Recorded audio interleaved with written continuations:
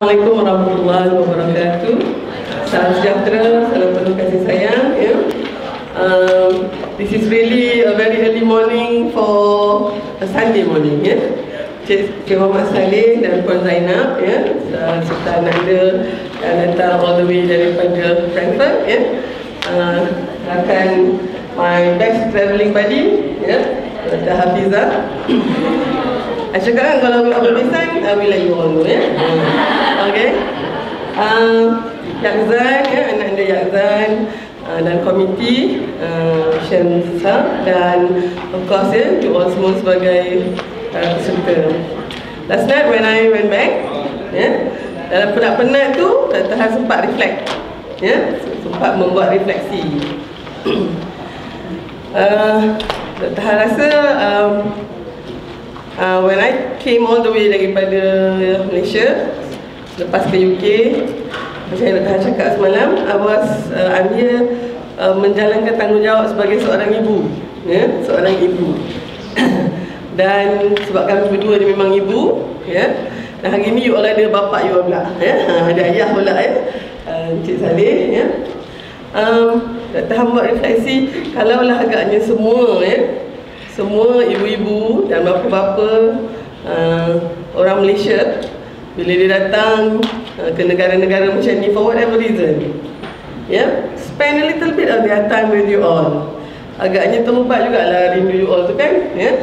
uh, daripada orang kata uh, yang penting tu adalah dia jenguk tu so I make a promise before uh, terlelap tu InsyaAllah selagi uh, hayat di kandung badan InsyaAllah Dr. Har akan teruskan ya, Apa yang Dr. Har buat ni ya, Biarpun sekejap lah Tapi mesti juga menyentuh Dan menyantuni anak-anak ya, Di mana juga mereka berada So balik ni Dr. Har ada nak kena ke Seoul ya, Untuk tiga hari uh, Ni winter sonata lah ni ya. uh, Dan Dr. Har akan bawa uh, suami juga Ustaz Zul dan orang anak uh, Dan pelajar-pelajar di Seoul dah siap dah program untuk Dr. Har dengan suami pula ya. Ha, jadinya uh, moga-moganya sebab anak. Han pun ada di Casablanca ya. Nanti adalah juga agaknya siapa-siapa yang datang ke Casablanca tu holiday ke whatever ke will spend their time with my daughter pula ya. Uh, so that rasa hati tu orang kata terubat lah kan. Alright. So today I promise you another one and a half hour of excitement ya. Uh, delivering a very important topic. Pada Dr. Har agaknya ya, saya topik ni kena bagi kat budak-budak sebelum dia pergi overseas. Ya, sebabnya we are talking about diversity. Sebelum ni dia orang di Malaysia, ya, semuanya tu memang kita dah familiar. But once they step out of the LIA tu, ya, and they landed to wherever they are, they're not just going to be there for one or two days. Ya, bukan untuk holiday. But they're going to stay there for years. With all the hardship. That might be the first time they were separated from their parents ya? Ha, dengan mak ayah risau kat sana dia orang pun sendiri risau. So I guess diversity managing diversity is a skill. It's a life skill. Dan bila saya berdepan dengan pelajar perubatan we feel that it is really an important skill mainly because as doctors they cannot ya memilih-milih siapa the patient yang dia nak dia nak treat Soalnya kan, Dr. Han cakap, ya, ha, ni ada seorang ni musuh dia, tapi almost dying dia, ya. Uh, ada puncture step wound dekat dia punya dada, ya, dia tengah dapat pneumothorax ni, ha. Dan so sebelah lagi tu pak mentua dia, ya. Uh, kena parang sikit je. Uh, mana dia nak treat dulu? Yang ni musuh dia ni. Ya, yang sebelah ni ni pak mentua dia, ya. So in that case, of course, yeah, the most important is the in terms of the severity of the condition. So of course, you can treat your enemy ni tadi. Okay. So today, yeah, we are going to go through this, celebrating similarities and managing diversity. And this is the content of the lecture. Yeah, I tried to make it as interactive as possible. Yeah, um, first let's define the diversity to apa dia. And I really want you to understand the components of diversity. Yeah, and then every time you meet the diversity, you will remember this lecture. Okay. Not only that, we will look into the benefits and the challenges of diversity. And and most importantly, what is your attitudes to diversity? You bila tengok orang lain ni daripada you, apa benda you first in your mind? Eh, eh, apa ni, ya? I do not want to have anything to do with this person, ya tu, ya? So, these are eh, the most kalau nak kata dalam konten lecture ni apa dia yang paling penting is that attitude tu.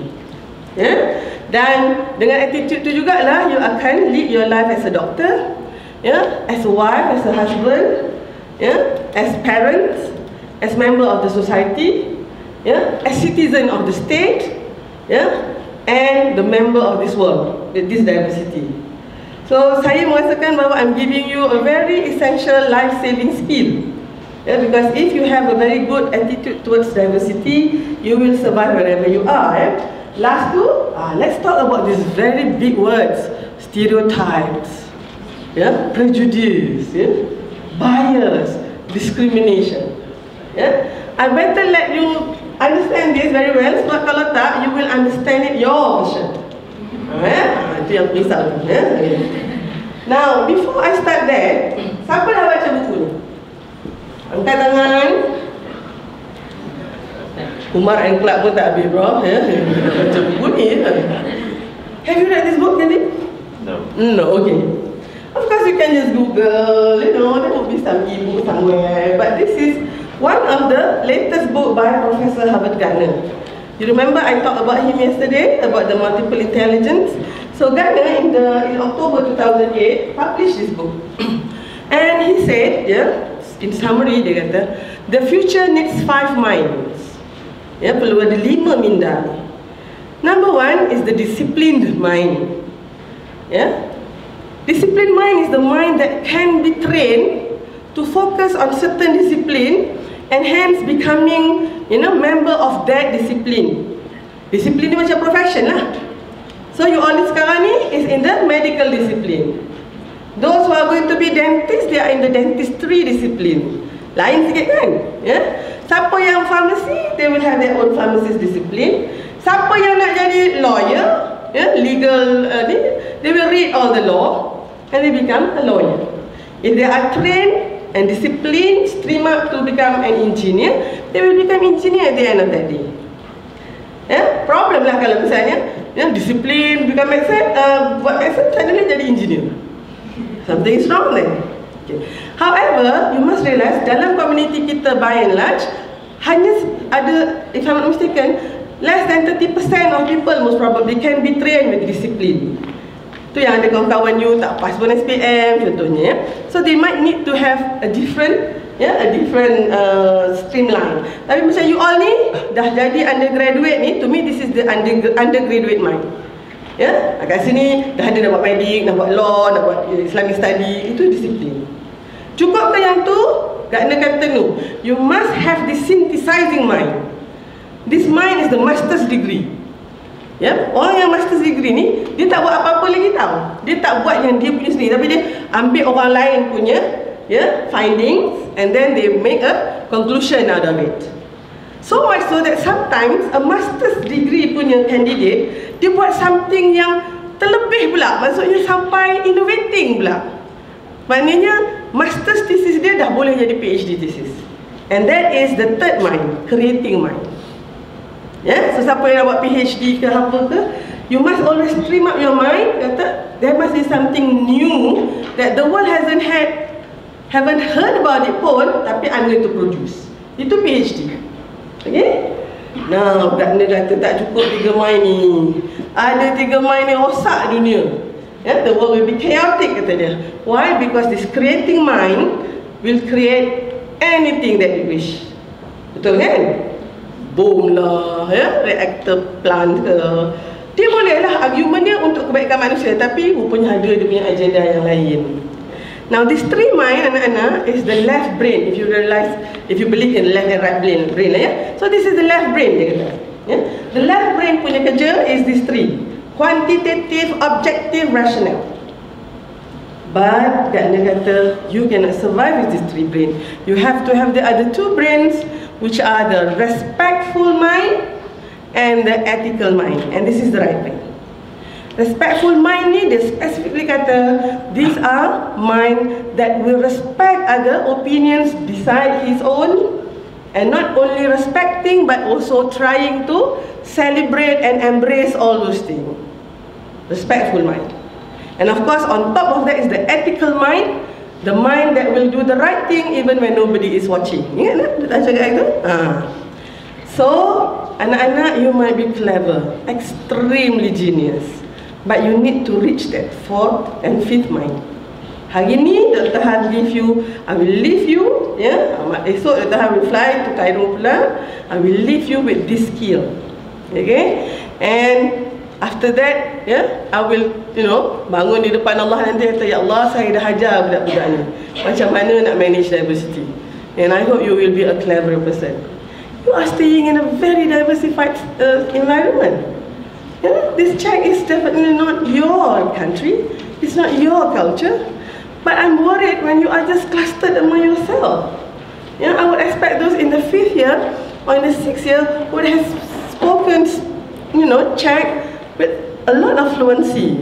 And you will have actually integrated semua tu because you are you are learning to be a doctor. Yeah?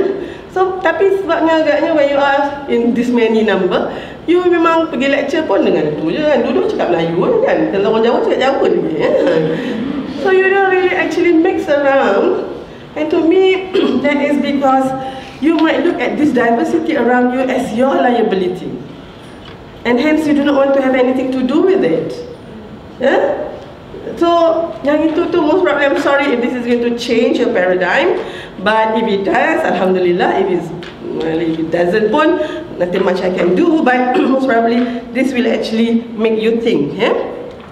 Now, diversity is being defined as characteristic, yeah, attributes that differ one from another person. Anything. Yeah. These attributes ni yeah, can be divided into something you can see and you can touch atau something you tak nampak. But you can feel it, it's there. And contoh-contohnya like ethnicity, gender, yeah, age. Yeah, of course I am your mother's age. Yeah. Masa I kerja 1991 tu some of you tak deliver pun. Some of you might have been delivered by me you, you were born in HKL agaknya. Yang mana tahu, ya? Yeah? Ha. So, that age differences pun is a diversity. Imagine in a house, you have parents yang dah umur 50-40 tahun ke atas, you ada adik baru umur 3 bulan, yeah? you have in between that some teenagers, some lagi baru pergi sekolah rendah, yang dah nak kahwin, so all those diversity, yeah?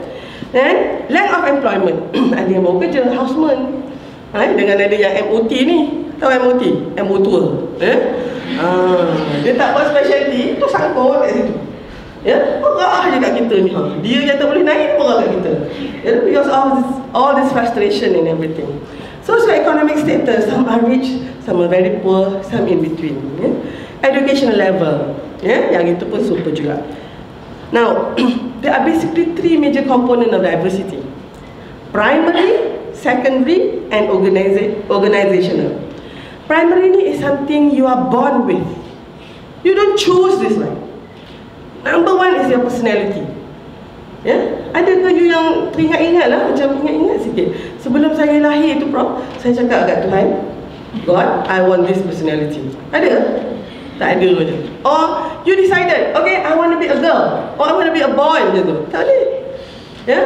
I want to be born A Caucasian tengok jadi orang Jawa ni yeah?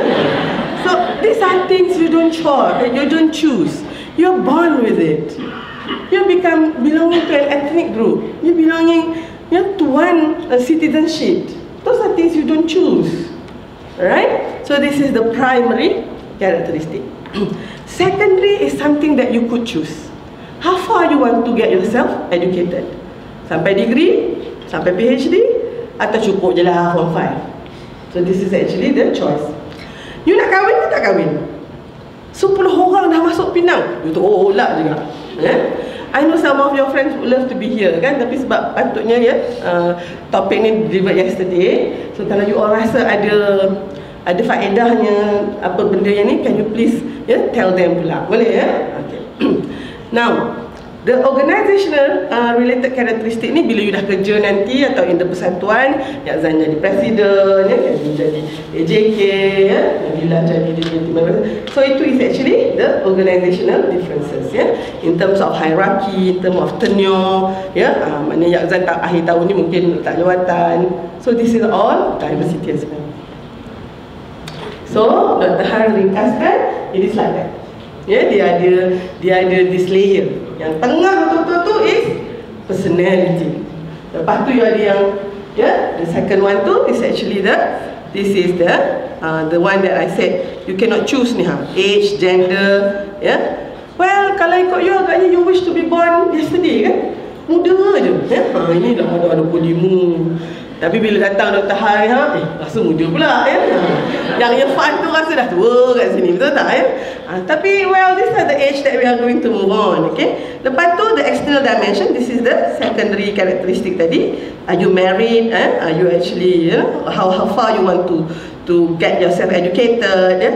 Where do you live? Ya, yeah, hari tu you are, you are living in Malaysia, suddenly macam Cik Salih kena relocate to Frankfurt untuk beberapa tahun. So, ni semua choice. Katalah Cik Salih tak nak, eh? Dia duduk lagi lah kat Malaysia tu so these are yeah, choices that you can lepas tu of course kat atas ni yeah, yang ini is the organizational dimension ha now look uh, kita tengok personality Dr. Han tak sempat nak suruh you all buat your own punya personality test but if you actually google personality plus yeah, Florence Litio dengan husband dia friend uh, you can go to that website you boleh tengok lah you punya personality apa dia But hari ni Dr. Han just bagi tahu je yeah? This is a very simplified version of personality differences But I'm not trying to put you in your kotak lah Oh ini, oh, ini ni sekuang Yang ini ni, oh, ini phlegmatic no, no.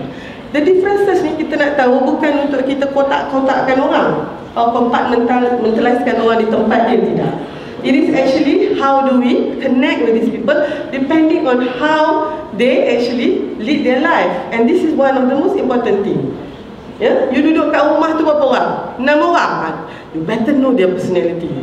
Ya, yeah? okay. Kalau ikut uh, Litio ataupun Florence, dia kata manusia basically ada empat personality ni. Yeah, most of us will have two, which actually represent extrovert or introvert. Dengar kan? Uh. Tapi antara tu, there will be one yang very dominant. And that is what make you tick. Okay? Now, phlegmatic Choleric, sanguine and melancholic This is actually the name they derive from Hippocrates punya teori eh, Masa yang zaman Hippocrates lagi Dia kata manusia ada empat jenis ya? Dan dia meletakkan kategori itu dengan kandungan bile Tu bile Bile yang padu tu ha. So siapa yang banyak sangat bile ni Dia kata choleric Yang kurang sangat tu Dia kata phlegmatic So itu itu dia punya ni Dia punya tanggapannya So but this theory is not anything about bile Tak But this is more on the personality of that person. Okay? Ada yang pertama ni namanya sanguine. Sanguine ni bukan peng penguin ke? sanguine ke sanguine kot you lah nak sebut eh. Dan sanguine ni they are very talkative. Okay? Good sense of humor. Very enthusiastic, expressive. Mata ber, ber, berkilau-kilau ni sentiasa. Ya? Very cheerful. Very optimistic. Ya? Has a lot of energy a lot of enthusiasm. Ya, kalau nak buat uh, carnival apa bagi kat dia lah ya. Dia lah yang tiup belon dia lah yang kemas tu. Ah, ah dah start dengar dah bunyi gelak ya. You can always think of a friend. Orang ni kalau dia tak ada, sunyi sepi rumah tu. Ya, they are the heart of the party. Okay? You enjoy with this person. Tapi ada kelemahan dia pula dia ni cukup suka lah bercerita suka sangat attention orang kena kat dia sampai dia bercerita tu sampai dia sebenarnya pokok tambah banyak tu kata jerit cerita pendek ni je dia sampai ke sana tu eh? tapi kita dia cerita tu macam betul lah eh? and then kita found out supaya dia, dia tipu-tipu sikit and dia tahu kau, kau, goreng aku eh dia kata alah saja je dia tak rasa pun dia tak rasa pun yang dia bersalah menampak nampak tu ya? ah. this sanguine at the extreme they are forgetful sebab dia tak fokus sangat so you ada nak buat secretary ya yeah? you jangan pilih orang ni habis you punya minit mesyuarat tak tahu ke mana ah, ya ah, jangan orang ni okay? So nanti ni Dr. Ha cerita tentang karakter orang tu, kelemahan dia dan juga kekuatan dia. Ya? Ini apa tadi? Ya, okey. Kalau boleh tahu kekuatan dan kelemahan tu, apa yang semalam kita baca, kita dengar self awareness. Self awareness, kita tahu you punya strength and Let's look at the second person. This is the choleric. Choleric ni kalau ikut uh, Hippocrates tu yang paling banyak bile, yang paling pahit orang ni lah. Yeah? These are born leaders, you know. They are very confident person, dynamic, active, very strong will, very decisive, not easily discouraged. Yeah? Independent and self-sufficient. Dia tak perlu pun kawan. Ya, kalau si Sengguan tadi, dia nak masuk cafeteria, tak ada orang nak teman dia. Sanggup dia tak makan. Ya, tapi si kolerik ni selama je masuk. Makan seorang je. Tak langsung rasa. Ya, sebab dia dia very independent. Ya. Kalau dia sakit, orang tak datang visit pun dia tak kisah. Tapi kau jangan haraplah dia pergi visit orang. Ya. Dia very independent. These people are very good in crisis. Yeah? kalau ada krisis ke, these are the people you want to have because they always come up with something, eh, solution. Dia memang gifted people. But kalau banyak sangat yang ini, they make decision all the time. So they become bossy, very dominant, controlling all the time, nyampah gitu. Eh, tak nak dengar cakap orang ni, ni lah dia. Sebab apa? Memang kebetulannya dia punya decision memang yang terbaik selalunya. Ya, yeah? so dia jadi big headed. Bossy, controlling, inilah dia orangnya. How about the melancholic? Yeah? Melancholic ni is the perfectionist. High standard. Yeah? Deep and thoughtful. Kalau si Sengguan tu, let's have party tonight. Yang si melancholic kata, eh tak tak. Duit scholarship tak dapat lagi. Alhamdulillah. yang ni ni yang ingatkan you. Yang si Sengguan tadi dia tak ingat. Yang ini ingat. Oh nanti dulu ya. Very serious and purposeful. Benda yang benda yang lara-lara main-main tu tak adalah anu ya, dia tak nak. Philosophical and poetic ya. These are the people who writes beautifully ya. Very ya, self uh, introspective ya. Dia mah tengok benda tu dalam gitulah ya. Uh, These people are very sensitive to others. Dia dengar je seorang sakit, cepat-cepat pergi visit. Tapi kalau kau dengar dia sakit, ha, cepat-cepatlah visit dia. Sebab apa dia nanti dalam hospital dia kata, kenapa orang tak tahu visit ni? Kalau orang sakit, I lah yang first kali pergi. Ni kenapa orang tak peduli kat I? Ha, ni lah dia orang. Eh? Ha. Yang kolerik tadi, dia memang tak peduli. Orang datang, tak datang, tak kisah. Sebab dia pun tak pernah pergi visit orang. Eh? Ha. These are self-sacrificing people. You will see these people always like to do things for others. Yeah? And very idealistic. Dia cerita kat dia, sepatutnya tak boleh macam tu. Sepatutnya, sepatutnya. Memanglah sepatutnya tak boleh kan? These people kalau dia nak nak menggaris, kalau tak jumpa pembaris dia tak buat garisan tu. kalau kita garis je kan? Oh tak, dia mesti. Inilah dia. Okay, ladies and gentlemen. Perfectionist ni dia punya setback dia can get easily depressed. Dia depressed. Mudah depressed. Sebab apa? Well the life is not as perfect as you and me would like it to be. Tapi the fact that you all jadi medic student ni you all memang perfectionist lah.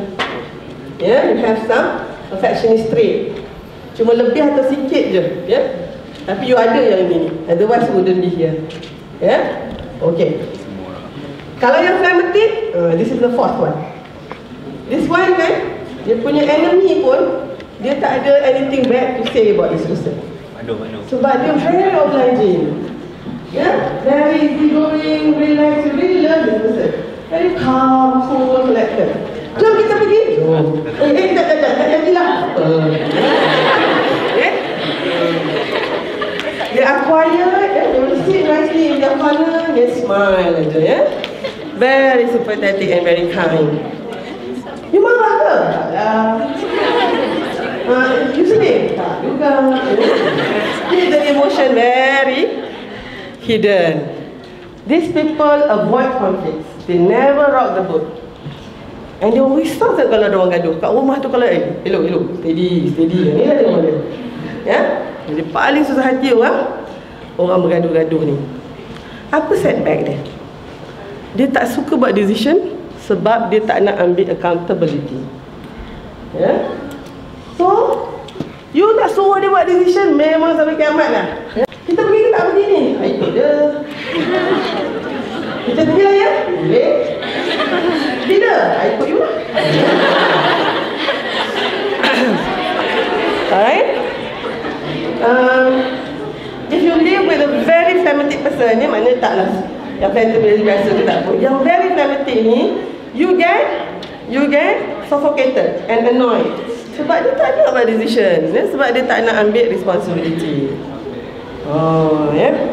Okay, I'm not saying that all of you are like this or like that, itu tidak. You have a mixture of all this, tapi you know mana satu yang you yang you kuat. Ya? Yang tu ambil lah test tu. Ha, buatlah sendiri kat ni ya, tenang tu. Tak boleh tak boleh tidur tu, dan kau tengok uh, Winter Sonata uh, Korea tu, dan kau buat. Ya? Ha, ni. Now this is a very uh, good summary of the whole personality. Yeah. Kalau you tengok, this part is the extrovert. Who are they? Sanguine and choleric. Dia orang yang very transparent. Yeah. Okay. Yang introvert ni, these are people yang masuk ke dalam lah. They are the melancholic and the phlegmatic. Actually, phlegmatic and sanguine, they are more towards stable punya personality. Ya, sanguine itu sebenarnya dia lebih ke sana. Phlegmatic pun ya. Bisa dia punya ni calm, even temper, reliable ya. Dia passive lah ya. Ha, yang yang sanguine ni dia sociable ha, ya. And then are easy going, very stable person. Choleric and melancholic they are more unstable because you know they can be quiet here macam ni juga passive tapi they can move and become moody. Ya, yang ni yang dapat depressed. Those yang kata ada mood swing semua tu You might be here. Ya, ha, macam tu. Tapi yang choleric ni pula Of course they start off with an active punya mood But then They can be becoming very un intolerable Because they get aggressive They get touchy They get angry very easily. Especially if things do not happen their way. Yeah? So Tujuan Dr. tunjuk ni So that you know ya Which one your tendency. So I personality Memang extrovert lah Yeah, can this change? Yes. Yeah, over time boleh. Yeah, you will adapt to a personality that best yeah, for your survival. Okay. So saya belum kahwin dengan ustaz dulu saya banyak choleric. I was the head prefect, I was the president of this, this, this, that lah. Ya, kalau pergi mana-mana mesti jadi ketua. Volunteer ketua aku je langkat tangan. Ya, ha, sebab aku tahu nak tak nak memang kena jadi juga. Ya, so I So when I got married to Ustaz Zul, I was very much a choleric. But I have sanguine as well. I have no trait melancholic, very little phlegmatic. Ya? Ustaz Zul pula, eh, my husband buat test tu je, banyak sanguine. Ya? Galak aja kalau dengan dia ni. Ya? Uh, and then choleric dia ada juga. Now, yeah, after 20 years uh, living together as husband and wife, we come to a compromise. Yeah, my choleric goes down, my sanguine naik, dia punya senggohan goes down, dia punya choleric naik. So we meet in between. Ya? Kalau you ada a very, you have this type of parents, yeah, yeah, you will be having a very enjoyable, you know, family life.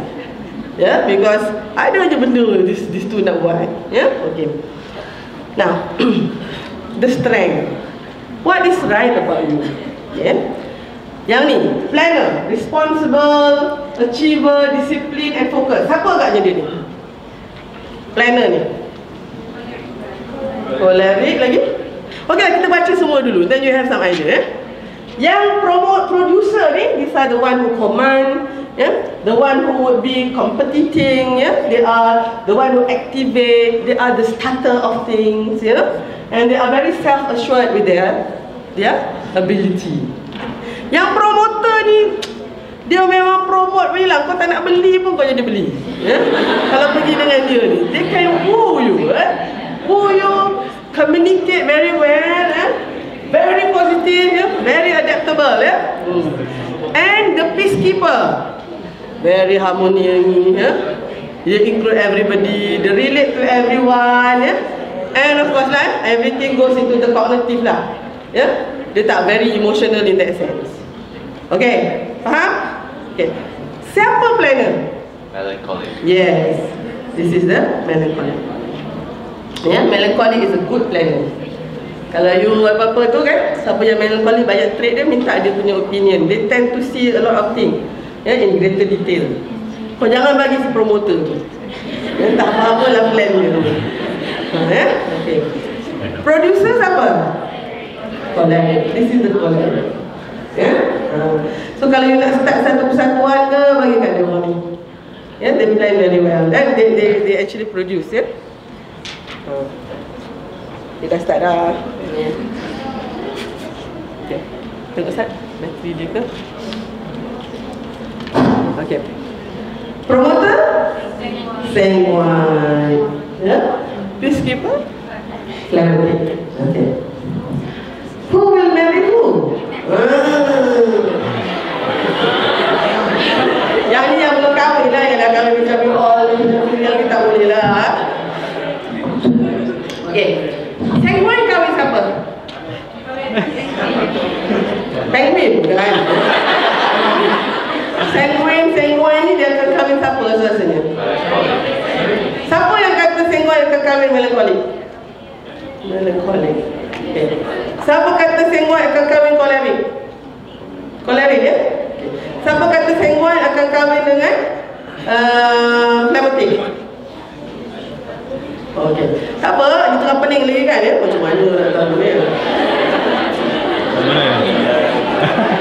Okey, okey. Kolerik nak kahwin dengan siapa? Okey, siapa kata kolerik kahwin dengan Sengwai? Siapa kata kolerik kahwin dengan Flematic? Siapa kata kolerik kahwin dengan melankolik?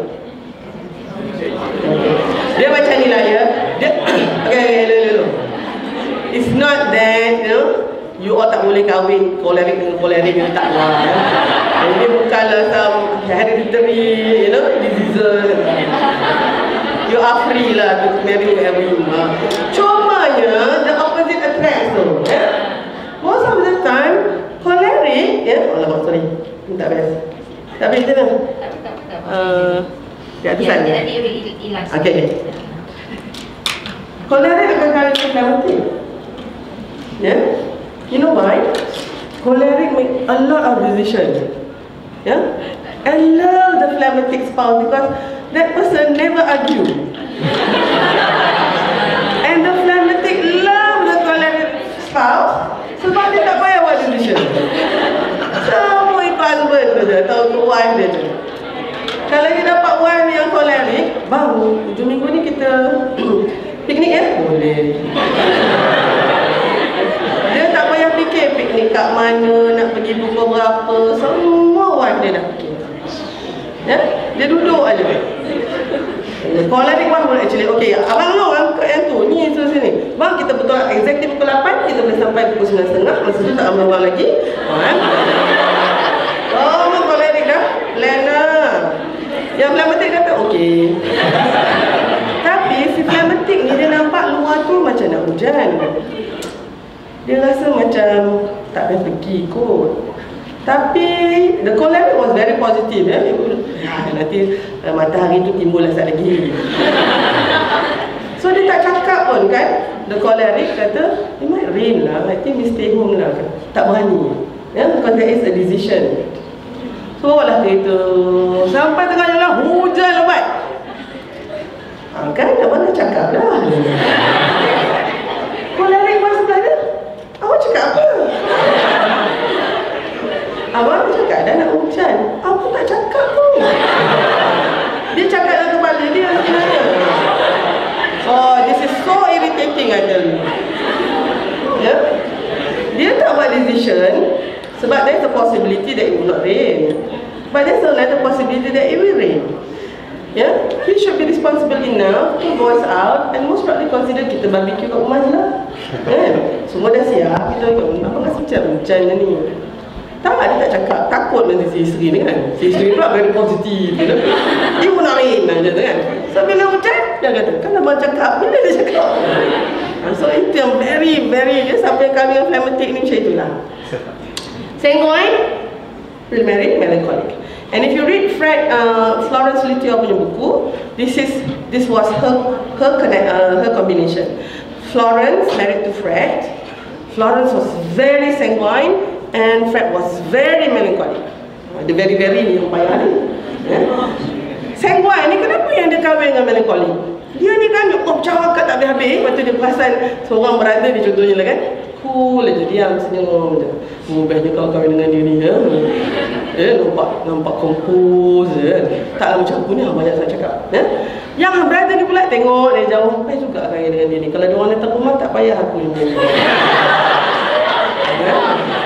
So So kahwin lah. Macam Fred dengan Florence tu. And you will see the story ya. They almost break up ya They almost divorce. So rupanya mainly because of the differences.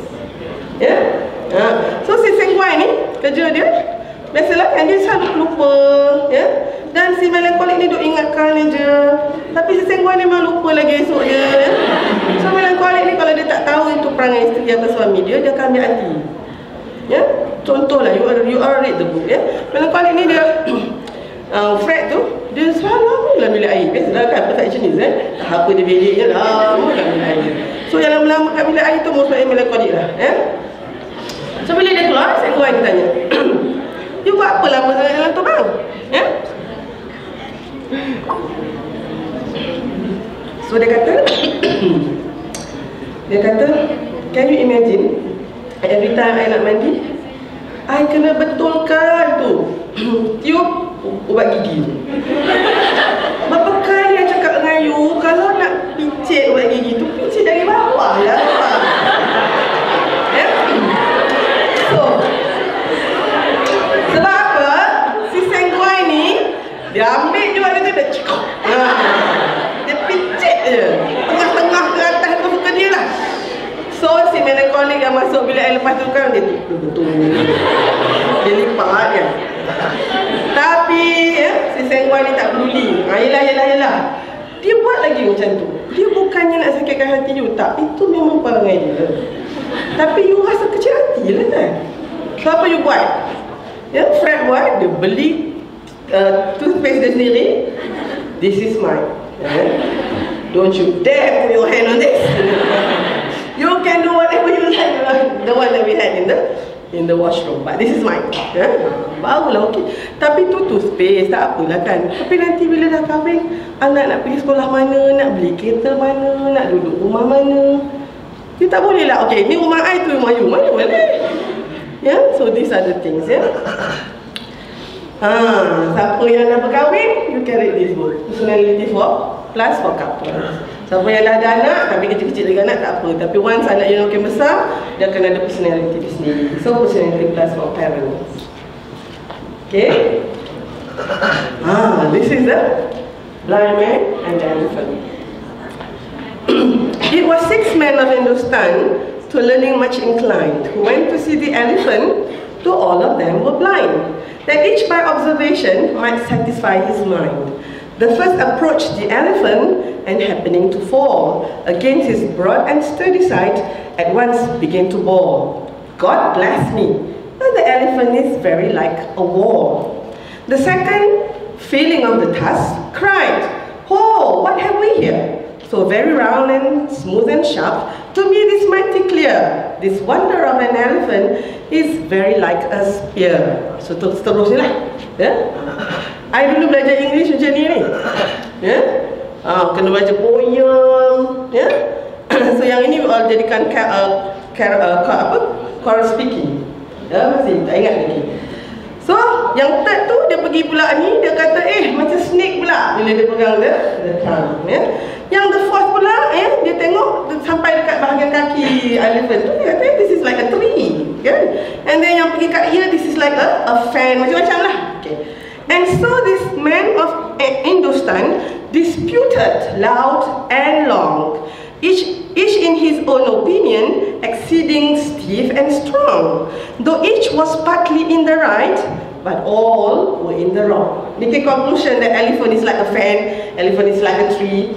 Yeah, of course, yeah, from where they are, that's, that's correct. Tapi elephant tu bukan macam itu. What is this? This is differences in opinion. Yeah. Hmm. Ah, yang ni senang sikit kan? Daripada yang Hindustan lah, benda tadi. So look at this. These are doctors. Yeah. Kalau dia dengan white coat dengan stethoscope dia. Yang sini semua they are all blindfolded lah. It's a spear, it's a snake, it's a tree. Again, this is the differences in opinion. This is the most difficult diversity you need to handle. So much so that if you have the right attitude, you come with this statement, I agree to disagree. Oh, macam tu. Ya? Ni kalau tak, kalau tak, uh, you kena ikut opinion I. If you're not with me, you're with them. Itu je. Mana boleh? So, you agree to disagree. How do you like that? So kalau you kalau you nak katalah opinion ni you nak dispute that person you will say I beg to differ. Yeah? That's the a very nice sentence. Kalau kawan you tengah cerita-cerita you rasa tak macam tu. So I beg to differ. We all punya curriculum pakai PBL. PBL has a lot of these differences in opinion. I sebagai facilitator tak dengar aja. A very courteous person, yeah, will say, dia dengar habis dulu, Uh, that is a very respectful person. Dia dengar habis tapi dia tak setuju. Excuse me, I beg to differ. Uh, kan sedap tu? Saya mohon tampil berbeza. Oh, itu bahasa Melayu dia. Jawa dia aku tak tahu. Ya? I beg to differ. Very respectful words. Exchange of opinion. Ya? Bukannya kawan tu macam, ah, tak, tak, tak, tak, bukan macam tu, bukan macam tu, macam ni. You have to let that person habiskan dulu opinion itu. Most likely kat ujung tu betul. Ini tak lain aja. Oh. Eh? Okey. Ha, satu lagi. Wa ma khalaqal dzakara wal untha illa sa'yakum la syai. Pada penciptaan lelaki dan perempuan, usaha kamu memang berbeza-beza. Yang ni ni. Alah, orang lelaki. Kalau orang perempuan tu, ha, macam tu lah. Men are from Mars, women are from Venus, children are from heaven, having had to live on earth. Yang kita kena cover tu. Dia ni terjemahkan kepada 150 bahasa kata saya.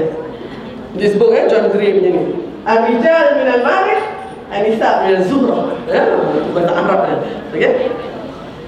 Now, itu belum lagi kita bercakap tentang ya. Hmm, okay, mana? Okay. How do you say your love to the other person? Dan tahap tadi mulanya tak nak masukkan slide ni But I realise ya, you all is in this age kan? Dah kahwin, yang nak kahwin ya Tak ada berapa pun cakap kahwin Dah suka ni sekarang kan? But not just bentuk kahwin ni ya? You must know how to express love to one another. Macam juga personality You have one ya, language that you always use To express your love to others. And if another person express their love through that language of yours, you will feel so loved. Orang lain guna bahasa lain Sikit-sikit je lah bahasa love tu Tapi macam tak percaya lagi Sayang ke dia ni ke airnya macam tu okay. Some people yeah, express their love through affirmative words Kaulah bulan dan bintang Matahari pun bla bla bla bla bla ya. Ha, ini dia Tulislah saja ya. Hantar dekat blog lah ya. Macam-macam Inilah dia ya. Affirmative words They will compose songs ya. Lagu Letak kat billboard ya. Aku sayang kau ya. So these are people ya. So kalau dia express Love dia through words So you pun kalau you sayang dia You hantarlah banyak-banyak words-words macam ni ha. Okay Then that person feel so love Ada orang dengan gifts and present What words dia tak main Ya, takkan yang Leo je main dia bencanya. ya. Kalau dia bagi gelang tipis saja, hmm, yalah banyak tu kan. Gelang besar ni tu ha, pakai pun sampai eh, sampai sengit tu. Oh, ya. Dia habis so much. Ya. Dia akan quantitative the gifts. Ya bunga rasa kuntup dengan bunga rasa tu bilik itu lain. Kereta kancil dengan Ferrari lain. Ha? So these are people with gifts. They are not materialistic ya. That is just how they feel love. And they express love. Tak ada kawan-kawan you yang kalau dia tak bagi, bagi hadiah aja. You pula bahasa cinta you bukan hadiah. Ya? Tapi kalau you nak tunjukkan sayang you kat dia, you bagi hadiah kat dia. Masalah kita hari ni, kita memberi orang kasih sayang ya dengan bahasa kita. Tak kira lah orang tu bahasa apa. So, ya, jadi kita rasa kita dah sayang habis kat si Kevin ni. Rupanya dia punya bahasa cinta is gift. Aku duk bagi dia words saja. Sebab I punya words. Si Kevin pula, dia sayang kat I dah bagi hadiah je. Padahal I nak tunggu dia cakap I love you tu. Tak keluar. ya, macam tu lah. Eh, dia pula kata, kenapa I sayang dia? Tengoklah hadiah apa I bagi.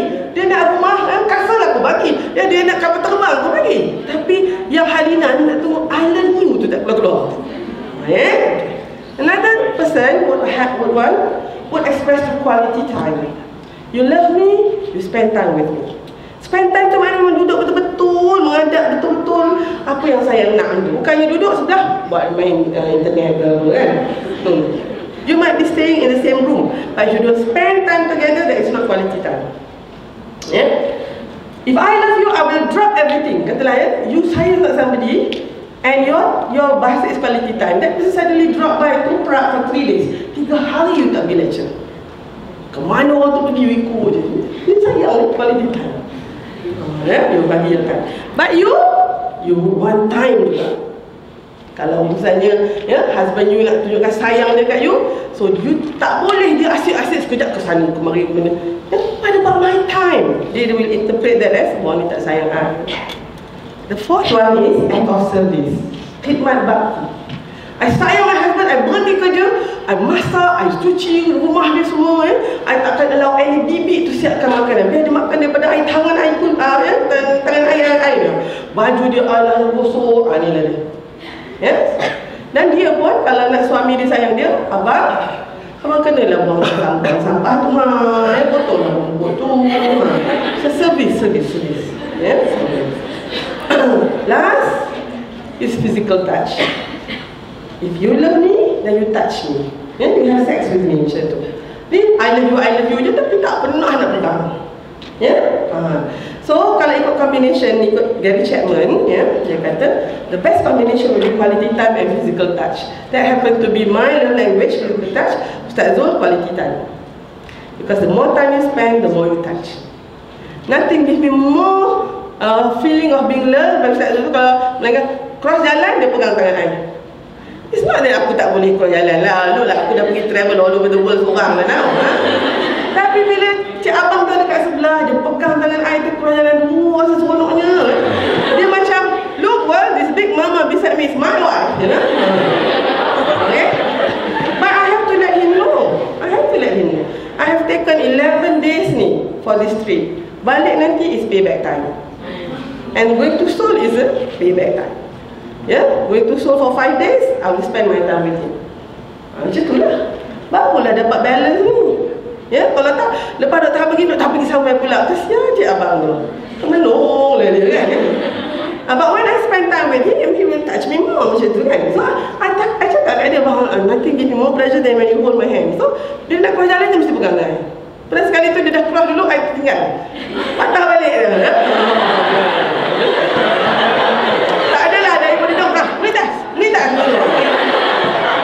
Kalau dia buat macam tu, I turn balik je. Oh, aduh pula. Macam aku dia ribut apa? Dia cross balik jalan tu. Hold my hand. Barulah rasa. Habis dah masuk? Ya, belum. So, so. Kita ada masalah anak-anak sebab we always express our love in our language without actually taking note or even bother what is the language of that person. If we keep on doing that over the years, remember, kita ada emotional tank or emotional account itu tadi. Account ni dia hanya menerima mata wang yang dibayar dengan love language kita, bukan love language orang tu. Faham tak? Kalau language lain, dia reject je. So, account tu kosong. Kalau misalnya minyak, dia kena minyak brand itu je. So kalau you tuang, you rasa macam dah banyak sangat you tuang ni. Tapi bukan mata wang ataupun fuel dia, Ya, they are running on E, empty. Itu yang kadang ada mesti sama with parents agaknya. Ya, you kat sini dengar-dengar dia orang nak bercerai macam tu. You don't understand why. It is always this anak-anak. Your parents have been going around all this while, 20, 30 years of their life, without feeling each other's emotional pain. They just coexist in the house.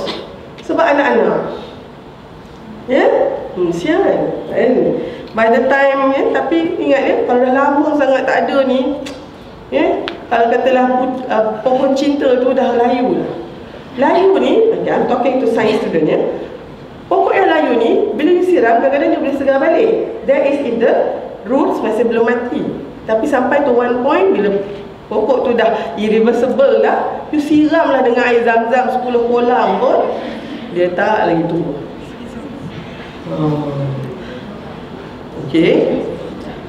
Mana nak tahu what is your language? Senang je, you pergi je website. Ya? Ada dia punya tu. Alah, main apa you know, you know lah what's your language. Now, I will not go on until I tell you about the five languages of apology pula. Ya, daripada Gary Chapman. Anak-anak ingat ke lagi apa kita bincang ni? Diversity. Ya? Kamu tak ingat dah? Tak ingat. This is the diversity of people expressing love. Diversity of people in their different gender. Diversity of their opinion. Diversity of personality. Ya? Ada orang, dia sebenarnya nak tunggu you cakap, I'm sorry. But sorry seems the hardest word, kan? Tunggu bila ni? Kadang sampai setahun tak datang juga I'm sorry, I'm sorry. Bila dia kata I'm sorry, oh lega dia. Eh? Dia tunggu yang tu. Ada orang kita dia cakap I'm sorry, I'm sorry, I'm sorry. Pasti tak maafkan. Rupanya dia nak dengar You acknowledge your mistake. I am wrong, I'm guilty. Oh, tu baru dia, okay. You nak apa lagi? I've already said sorry thousand times You haven't said I'm guilty. you nak dengar yang tu. Ada accountability of the mistake. Ada seorang lagi tu, dia tak cukup dia kata I'm sorry, I'm guilty. Dia kata tak ada apa-apa ke? Nak redeem yourself. So kalau misalnya you are sorry, you are guilty. Orang tu apa bahasa cinta dia? Quality time. Okay, lepas ni kita pergi jalan-jalan. Kita pergi park, pergi travel. Okay. Itu quality time yang you bagi. Kalau dia bahasa cinta dia give, I'm sorry, I'm guilty, this is my gift, yeah? saying I'm sorry. Kena redeem. You kena redeem dengan bahasa cinta dia. Act of service, I'm sorry, I'm guilty. Eh, hari ni you tak payah masak, I yang masak. Senang je kan? Ya? Tak tahu ni yang buat sampai bertahun-tahun marah. Bertahun-tahun tak memaafkan. Ya? Yang keempat, dia kena dengar I am really serious in in apologizing I seriously regret what I've done. Saya betul-betul maksudkan apa yang saya maafkan, saya minta. Sebab, okay, it's okay. Sebab ada orang, ya, yeah, okay lah, you nak sangat yang minta maaf lah. Sorry. You tahu dia belum betul-betul minta maaf lagi tu. Just because dia ingat you nak dengar kata sorry tu kan. Dia bilang, ah, okay, I am truly sorry for what I've done. It hurts you. Itu you dengar sangat. Then, ada yang nak, I will never repeat, never ever ever repeat that mistake. Taubat nasuha. Ya? Tu you tahu lah kan, ada seorang woman tak boleh maafkan husband dia yang tengah dah cheat dia sekali je ya? Sebab apa husband dia, ya tak pernah cakap I will never ever repeat that mistake. Ya, sebab musuh dia akan repeat lagi 2 bulan lagi. Uh, seperti yang dia tak boleh maafkan. Okay, ya. Now, apa benefit diversity anak-anak? Ya, kenapa lah ya, benda yang macam ni susah sangat kita hidup ni ada pula. Diversity is actually very, very beneficial. Ya, it creates creativity, innovation, ya, a lot of views coming in, ya. It focus on the strengths, ya. So you know each other's strength and you work on it. However, it can also be a challenge. It gives rise to management complexity. Ya, tanya Cik Salih tu. Ya? Budak yang nak pergi nak pergi uh, luar negara ni, ya, ada yang dari Kelantan, ada dari Terengganu, ada yang dari Sabah. Ya, budak Sabah dia nak pastikan apa dia ke apa budak Kelantan mesti bawa guru dia contoh lah ya. So ini contoh aja ni. So there's a lot of diversity. So management complexity is really a challenge. Yeah? I tell you my experience when I was uh, a fellow in University of Minnesota. Eh? Uh, I worked in Hennepin County for a month. Hennepin County punya vision, yeah, mission statement dia, mission statement dia, we celebrate diversity here. I kind of like it. Yeah. Cara dia celebrate diversity itu, because many many place has a very diversified population. They have 500,000 of Somalian immigrants living there. They have almost 1. almost 2 million of Vietnamese origin yeah, daripada yang perang Vietnam dulu. They have good number of people who speak French from the border of Canada. Dia memang dekat border situ. They have of course like a few more million Latinos, yeah, and Italian. Uh, apa lagi? Hmm, and of course like English speaking. Yeah? So cara dia celebrate diversity ni, a signage like kindly be seated the doctor will attend to you shortly is translated into Somalian, French, Latino, yeah, and uh, apa tadi? Vietnam. So kan dia punya signboard dekat dekat dinding tu hodoh betul sebabnya semua panjang-panjang. And the hospital is so dedicated for diversity. They they actually uh, provided a translator, medical translator to all the the, the people. And it is not the translator yang uh, dia kata ah dia kata dia sakit gigi kan. These are diploma medical translator. So they have a room, they have a group of medical translator, very important people. They are centralized in ini. So kalau misalnya I masuk tu, I, I tahu dia Latino boleh cakap orang putih. Tapi saja tak nak cakap orang putih. Macam kita lah kalau pergi ATM machine tu. Pilih bahasa Inggeris, bahasa Melayu, ya, bahasa Malaysia, bahasa Cina ke apa kan. Tu pilih English. Sebab apa? Eh, kalau I tu Melayu ni kan nampak kotor sangat di kampung tu. Proud of the language. I will always choose bahasa Malaysia because that's my language. Ya, tapi bila I pilih bahasa Malaysia dekat self check in tu, Cik Saleh, ya, yang budak-budak yang asyara tu, Ha, makcik, yang ni dekat sini, dekat sini. Oh, main lagi ya. Panggil aku makcik ni. Tak apa. Lepas tu, I nak tukar tempat duduk. Kata yang ni tepi, tepi sikit. Yang ni belakang sikit. Yang ni dekat depan. Kamu lah, aku naik kapal terbang ni dah. Engkau pun dengan tak pernah naik kapal terbang jauh-jauh. Ya? I tahu mana alas, mana belakang, aku tahu lah mana kan. Tapi cara tu, just maybe because aku choose bahasa Melayu tu, bahasa Malaysia. Habis lah, dia kata. Cik, boleh saya cakap sikit ya? Saya ni kalau dekat universiti saya orang panggil saya profesor. Tapi kalau cik tak panggil profesor pun tak apa, cik panggil saja saya puan. Ya? Sebab saya bukan makcik cik. Ah, oh, ya. Yeah? Okay, coming back. Okay, this Latino, dia ada uh, Latino, Latino, dia kata. Oh, lama kan tak boleh cakap orang putih So, I, I page, kata, room so and so, I need a Latino translator here. Betul dengan suara. Yes, doctor, we are sending Yuan. Eh, Yuan datang. Yuan was a very tall Latino man yeah, who was blind. So, he walked with a walking stick. Very tall. Yeah. Betul bila dia sampai, Dr. Siraj, I'm Yuan. I'm your translator today. So, dia duduk, uh, yeah. Untuk I tanyalah this, this Latino kan, this this lady, pasal period dia. So when was your last period? So you want cakap lah Latino. Eh? So this Latino, this Italian, this this Spanish, uh, dia orang Italian ni lah, orang Mexico lah kan. Dia pun cakap, cakap, cakap. So tiba-tiba si Yuan kata, my last period was last week. no, actually, medical translation kena macam tu. In first words, first sentence. You tak boleh macam, uh, apa? Okey. Tanya dia bila dia punya uh, last period? So you cicak cicak kan kata lo jom kapan tepan ni? So dia mau cakap cakap cakap so dia kata last period dia minggu lepas that's not medical translation. You have to use their words and translate that literally. So mula aku terkejut. Lah sekejap si Yuan kata my last period was two weeks ago. But then very soon I got I got very very apa? Very used to it very used to it that is really medical translation. Tapi dia ada diploma. Cuma yang tu dia management complexity. Can you imagine? You buat signage semua bahasa tu. Eh? Ha, lepas tu nanti you kena translate. Oh, you. Ada seorang my friend ni kena cakap dengan Somalia. Ya? Somalia translator dia kan. Very complex lah. Ya? Kalau you ke hospital kan, ya? Adalah ya, Chinese patient, dah tua. Tapi Melayu boleh kan? Tak boleh, tak boleh. Oh ya, duduk Malaysia berpuluh tahun. Ya, Tak boleh cakap Melayu. Oh, mulalah start oh, Macam tu. Ya, oh, this thing lah kan Atau you panggil lah ya, a Chinese student to translate. Dia pun cakap, cakap, cakap banyak. Apa dia cakap? Dia kata tak ada. Mana boleh tak ada? You cerita tu kan lima minit tadi. Aku ni tunggulah apa dia ni Ha? Katalah dia kata, tanya dia, dia ada tak macam tu ya, productive cough kan? Dia pun tanya, tengok ni jawab-jawab gitu je kan? So, ah, apa? Tak ada. Tapi masih more than tak ada kan? Punya lama lah kau menyembang. Ha, Aduh, dan itulah dia. Eh. Tapi of course, I cannot blame that student because dia memang tak train in medical translation. Ya? Yeah? Okay. Now, creating a question of fairness. Fairness, tak fair lah.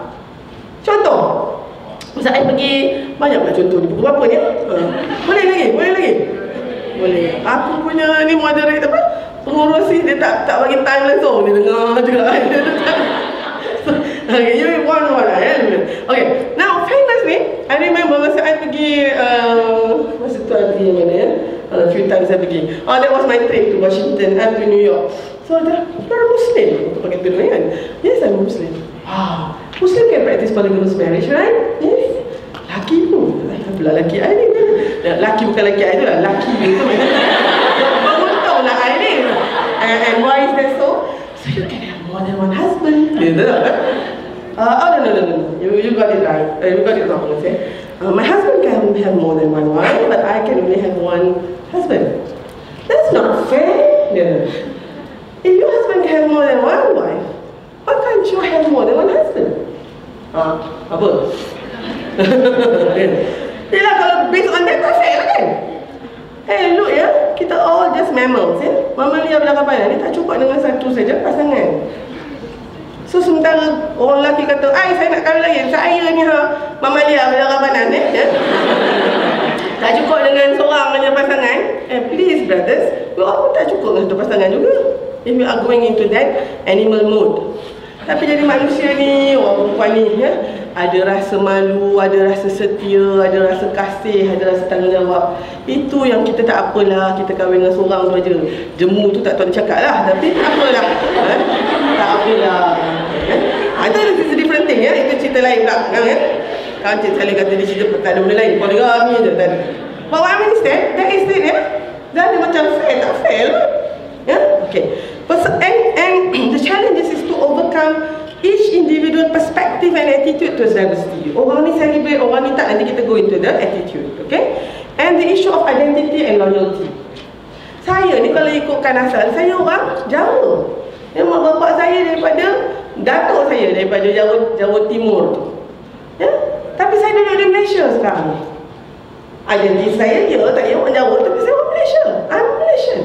You cannot ask me to go back tu. Jawa Timur tu kan, aku tak ada tak tahu siapa kat situ tu. Sampai dengan Kevin, you cannot ask him to go back to China. Sampai pun tak benda dengan Kevin. Tiba-tiba baliklah sana. Hey!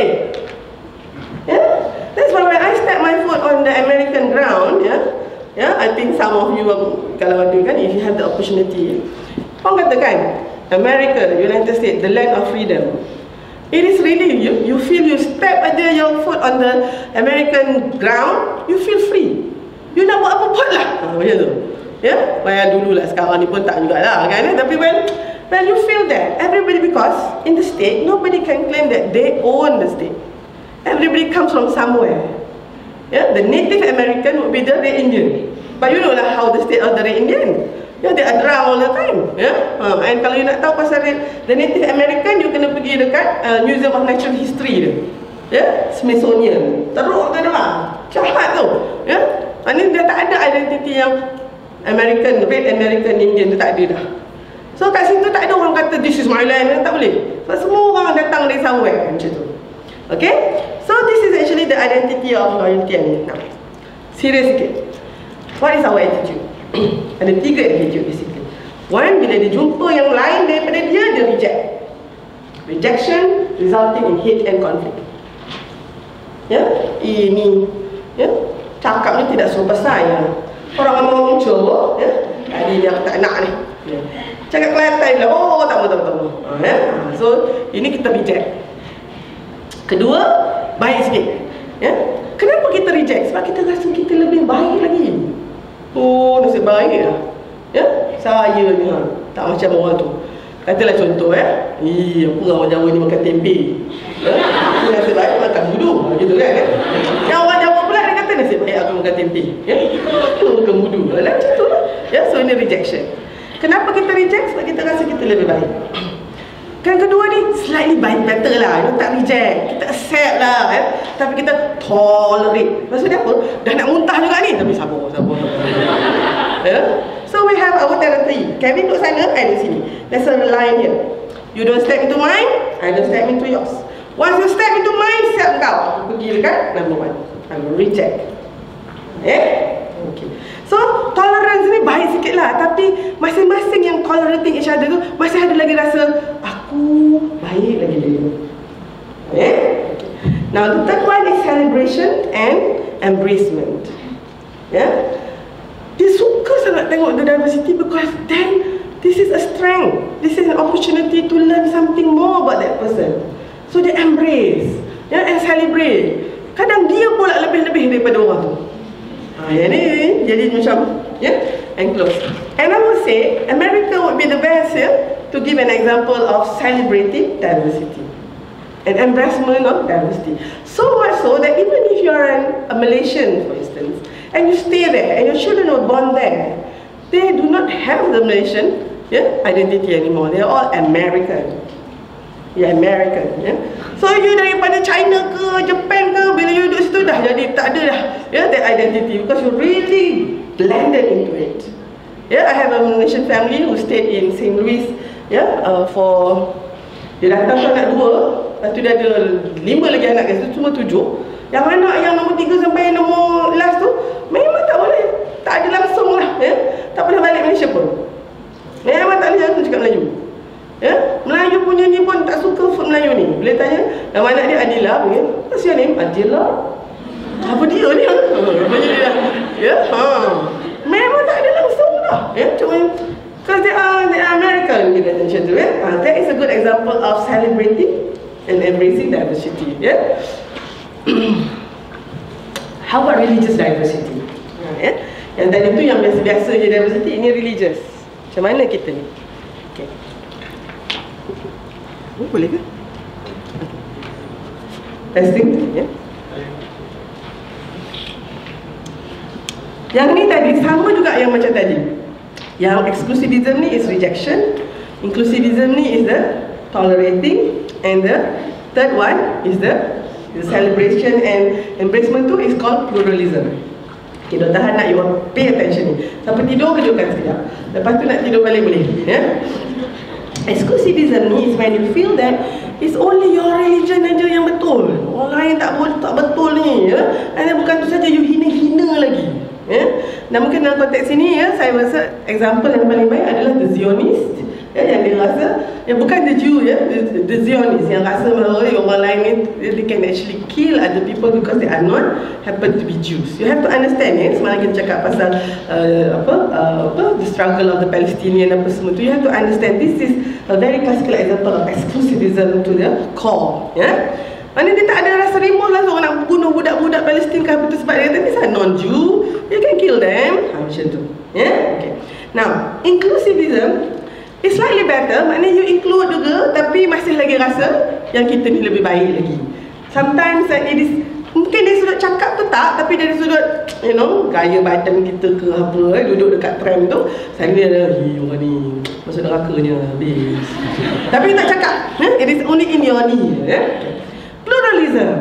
Now, pluralism means when you say, well, we are all the same. There's one God, you know, many paths, but all will go to the same God. So, agama A okay, agama B okay, agama C okay. So, what's the heck, man? Yeah? Uh, I don't care who you are, what you are from, what you do, as long as I love you. ah, go Westlife, kan? Ah.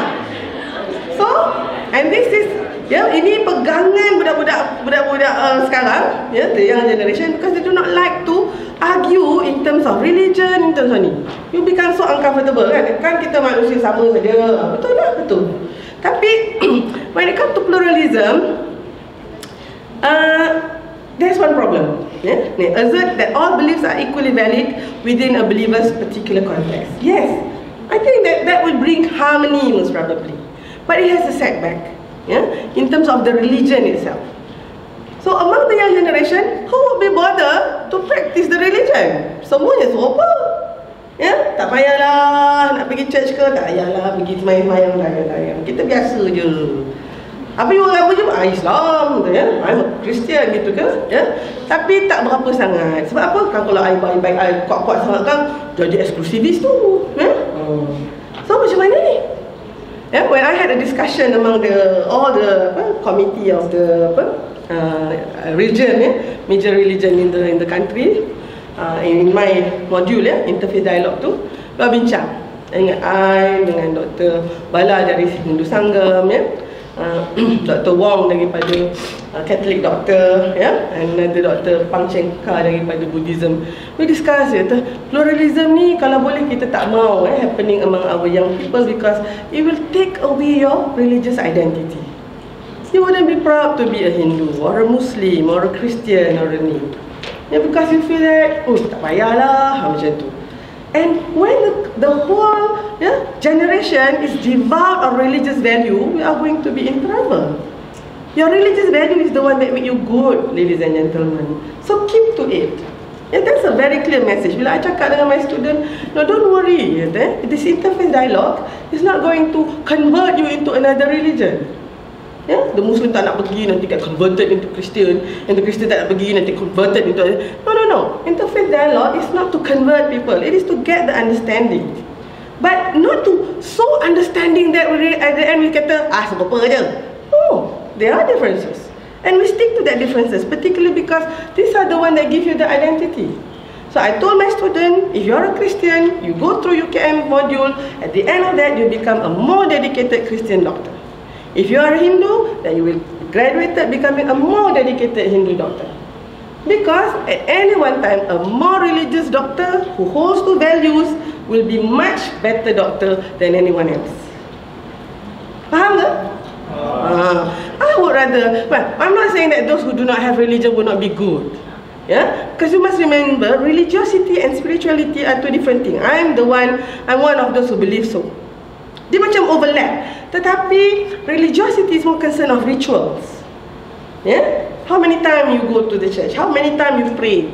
You puasa tak? Oh ya, yeah, ni semua umum.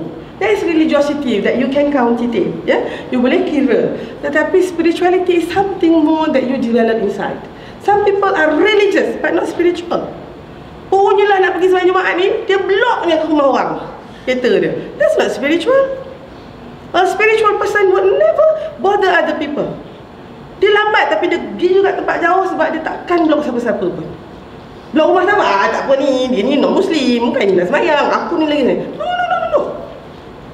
Rasulullah kata ya, ya lemah-lemah iman mem, membuka apa menghindarkan halangan bukan duri itu bahasa kita dulu duri daripada jalan duri apa kat jalan ya itu halangan daripada jalan kalau kau letak kereta kau ya dekat dekat pintu orang tu itu sebesar-besar duri tu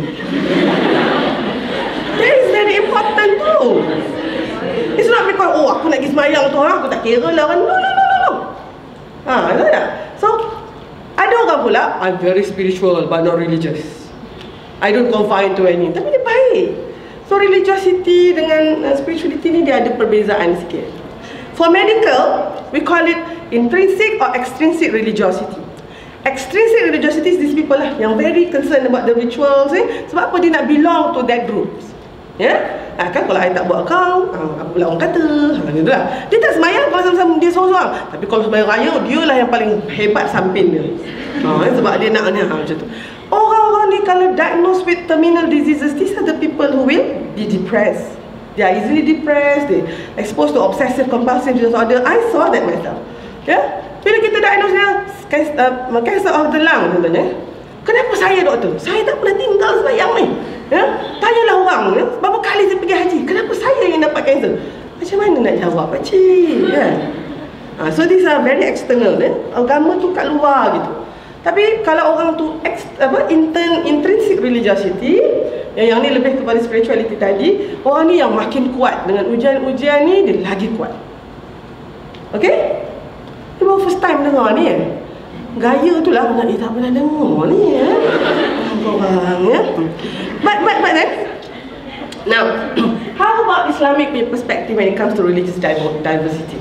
Yeah?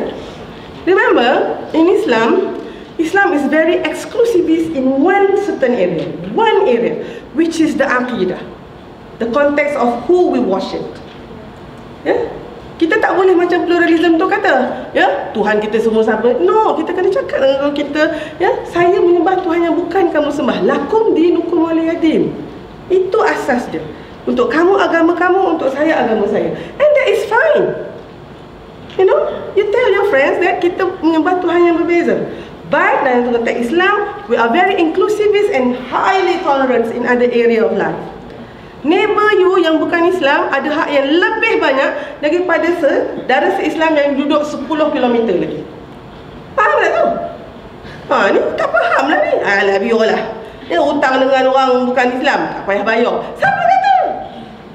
Banyak cantik. Ha, ya. Mana boleh? Ya, mana ni yang understanding-understanding ni. Ingat ya, Rasulullah SAW pernah bangun ni ketika ada satu mayat lalu. Para sahabat semua tak bangun. Cakap kat Rasulullah, Ya Rasulullah, tu mayat Jews, tu mayat orang Yahudi. Rasulullah pandang para sahabat kata, bukankah dia seorang manusia? Oh, pakat sibuklah bangun tu. You see? Rasulullah kan, yang kita tahu antara macam sabarnya Rasulullah. But I took this story as a, a part of diversity, yeah? respecting diversity. Ya? Rasulullah selalu lalu satu jalan, lorong kecil nak ke masjid. Ada lalu di sebelah uh, rumah seorang wanita Jews. Wanita Yahudi. Tak suka Rasulullah ni. Rasulullah lalu je, dia buang sampah dia. Kena Rasulullah. Rasulullah lalu. Tiap-tiap hari Rasulullah lalu tempat yang sama. Kalau saya lah jalan Rasulullah, saya cari jalan lain lah. Eh? Tapi tak lalu lah juga situ. Kena buang. Satu hari, sampah tu tak datang. Terus Rasulullah. Uh, ya? Hari kedua tak tak tak juga dibuang. So Rasulullah tanya sahabat.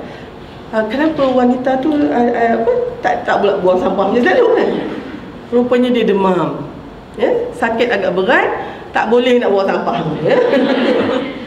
so what did Rasulullah buat? Rasulullah pergi visit rumah dia. Oh, this one.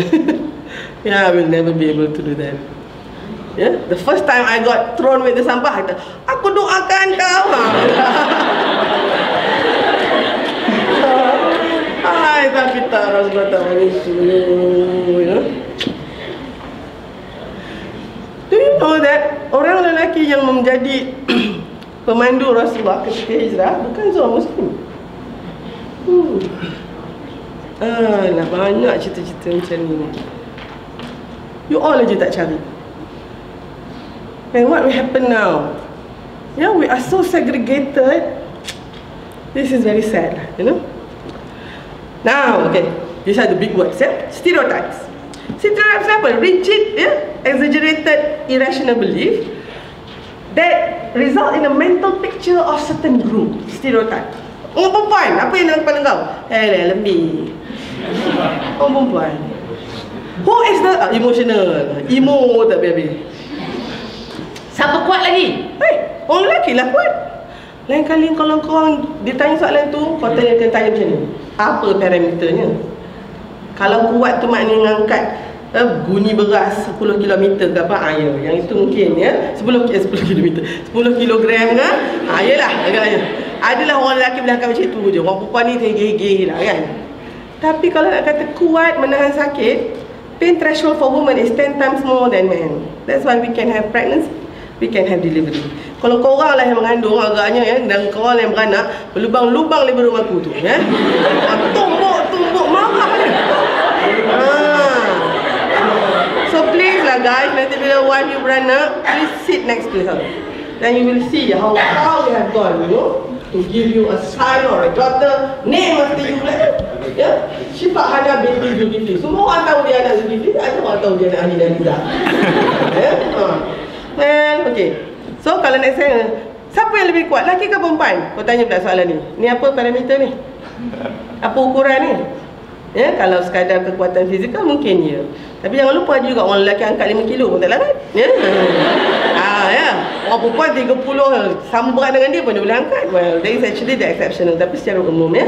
So this is the stereotyping. Women are like cucumbers. Kalau doktor orang perempuan ni Ibarat mentimun tergulik luka bergulik luka. Inilah dia. Tapi orang lelaki pun, orang lelaki ibarat dia king of the flu. Tergolek bergolek tak meninggalkan kesan. Ya.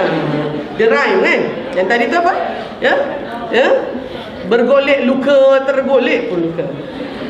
Itu masa I kat Harvard, they were asking me to translate that. Women are like cucumbers. They get scratchy. You know, they they um, scratch very easily, even if they are rolling on their own or being rolled. Okay lah. Macam mana lagi? Nak translate kan? Nah, nah, nah. Lelaki durian. Hmm, durian apa? Durian tembaga tu boleh lah kot. Durian Belanda? kau tahu kan soursop ni? Sebelum kau menyediakan masuk lah, kau tak tahu ni kan eh? Jadi tempoyak? Bila durian jadi tempoyak, timun yang tergolek bergolek luka tadi tu, cecah aja. So, so analogy stereotyping macam ni, get out of the window. Tak boleh. Oh, sorry. Women are sexual objects. Oh, perempuan ni tak ada kerja lain, menggoda apa semua. Ayah. Ibu, kau ibarat lilin. Membakar diri orang lain. Razi, kau pernah dengar? Bapa kau ibarat mana? tak pernah dengar. Ibu, kan kalau guru pun cikgu perempuan lah kan? Guru kan? Even as a small child, maybe 10 or 11, I was asking myself, ya, yeah? hmm, to critical thinking. Takkan nak jadi macam Lilin? Lilin kalau 8 inci, 6 inci, banyak tu je lah boleh berjasa tu. Sampai kat ujung tu, tak payah tiup pun dia mati sendiri. Apa yang tinggal? Ya, bekas lekit-lekit macam ni tak ada orang nak ni, tak boleh cycle. Nyampah. Takkan nak macam ni? No. Wanita ibarat matahari. Ya? Yeah? the fireball in the middle of the solar system.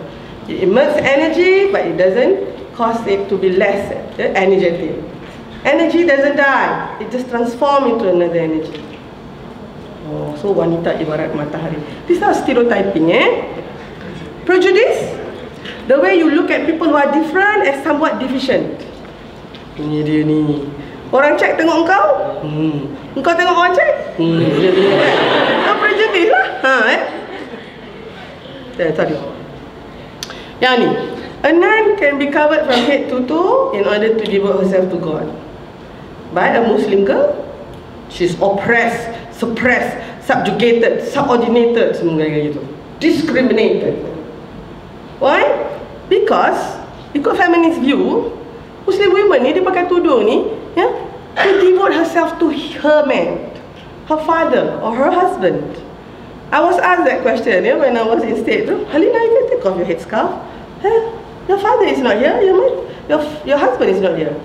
Look at my friends and what make you think I'm wearing this because of them? Lepas tu dia pandang I you are, you are not wearing it for them? No. But I don't really blame him because my the, the Muslim doctor who came before me, another female Muslim doctor from the Middle East, masa dekat dekat US tu langsung tak pakai tudung. And when he asked, why are you not covering yourself up like what you used to do back home in your in your country? Said, oh, my father is not here, my husband is not here. So that then dia dapat that uh, idea that we are just wearing tudung for our man. So this is the prejudice more or less, yeah. Bias, dengar? Bias. Ha, ni bukan bias, bias. Bias is a partiality, yeah, that prevent objective consideration. I dah bias dah. Kalau Dr. Halida yang cakap mesti sedap punya, itu bias. Ya? Yeah? Ha, kalau misalnya uh, yang saya cakap, ah, memang tak sedap punya. Contoh, itu itu bias. You dah ada your own preconceived idea, ya? so you tak bagi. Yang macam inilah kartun ni kan? you nak ke pergi kan jadi apa seorang yang apa dihadapkan di depan juri yang t-shirt dia tulis guilty as hell gitu Ulama apa-apa dah kata guilty as hell So itu dah bias lah kan Discrimination, this is failure to treat people equally because of a bias based on characteristic yeah, such as race, sex, gender, national orientation yeah, uh, ataupun disability. Ni. We are a colorblind company here, Johnson. To us, you are black and invisible. Eh? Gender discrimination. Okay, ni masa ni macam juga sekarang lah ya. Ah, masa budak perempuan masuk masuk universiti buat medik. So orang dah start risau ya. Kita kena naikkan bilangan budak lelaki ni. So ni ha, apa yang interviewer tu kata tentang ya uh, kriteria nak masuk jadi um, apa interview tu. Right, that's a great point then. Huh? We'll be looking at 4 plus levels of grade B or anything else. Testicle ya. Um, kena tengok tu ya. Yang ni pula eh, kata, Oh my dear girl, we are not discriminating against you because you are a woman. We are discriminating against you because we are men. Ya. So, lagi lah ya. Anak-anak, if you don't get anything from my lecture today, just remember this. Okay, this is the pyramid of head yang kat bawah tu. Adalah ya bunga-bunga atau anak benih untuk yang paling atas ke atas. It starts with the prejudice attitude. And if you don't challenge that, to accept stereotype, yeah, we don't challenge people who belittle others, yeah. So we'll go up to act of prejudice. We call name. Orang yang pun kita tanya, oi, tiang. Ya, mungkin nama-nama macam tu agaknya tak apalah sangat ya, tapi you get more and more racist with this with this labeling ataupun you get more and more you know discriminative with those all those labeling. So, you boleh exclude a person, jangan kawan dengan dia tu. Ya, dia tu bukan macam kita contohnya. Ya. Then, bila ada act of prejudice, you have discrimination. Yeah? Then you discriminate employment. It become more organized and structured. It can lead up to violence. Yeah? When you become violent, it can be against people, against property. Yeah? Uh, and then of course, it end up with a genocide. Yeah? Uh, tak jauh daripada sini, Kosova. Yeah? Uh, dulu, Serbia, Kosova dulu. Yeah? They kill each other. Even though they were neighbors dulu. So these are actually the pyramid of hate.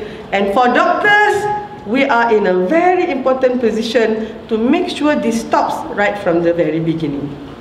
Saya merasakan bahawa di Malaysia ya, doctors lah yang memainkan peranan yang penting sebab kita kena belajar macam mana nak manage diversity ni. You tak boleh treat a person semata-mata kerana ya, dia bangsa saya, dia cakap pasal saya dia orang Kelantan, saya orang Kelantan, ha, kita tak boleh. Ha, dia orang Jawa, saya orang Jawa, saya treat dia. Tak boleh. Ya? Kita tak nampak semua tu. In the Quran, yeah, diversity is being mentioned as the sign of God's creation. Ya, ha, yang ni surah Ar-Rum ni. Creations of heavens and earth, variation of your language and your colors. Verily, in that are signs for those who know. Dalam pelbagai kepelbagaian ini, Allah hanya melihat satu saja, iaitu ketakwaan atau your righteousness. Ya, antara kita ni tak boleh, tak ada siapa yang boleh kata saya akan masuk syurga dulu dari awak tahu. Ada? Tak boleh. Sebab hanya Allah akan mengukur hanya ketakwaan dan takwa itu tak ada siapa yang boleh kata saya ada lebih takwa dari awak. Have you ever uh, uh, mana tahu you ada invite ada invented thermometer bukan thermometer takwa. Letak bawah lidah, oh banyak ni takwa ada. Tak ada. None of us know. So this is actually a very fair yardstick that only Allah knows. Ya. Yeah? Bila you tahu konsep ni, you don't look at yourself as so great atau look at another person so low. Because even though she's low today, she can become greater than you tomorrow. Ya? Yeah? Okay. Okay, video clips. Ya? Yeah? Ada dua video clips kat sini. Uh, yang ini dua, nanti ada dua lagi. This is showing managing disability. Mother Teresa, yang kita tahu Mother Teresa ni, dia ada ya uh, satu uh, rumah yang khas untuk menjaga leprosy patient. Masa zaman tu, dia tak panggil leprosy patient, dia panggil lepers. Lepers are name, label given to people who have leprosy. Look at how Mother Teresa ya, dia dia uh, argue with this patient. Yang kedua nanti ethnic discrimination whereby masa tu Gandhi ya tengah travel dan dia duduk di first class coach yang hanya khas untuk orang putih saja kulit putih.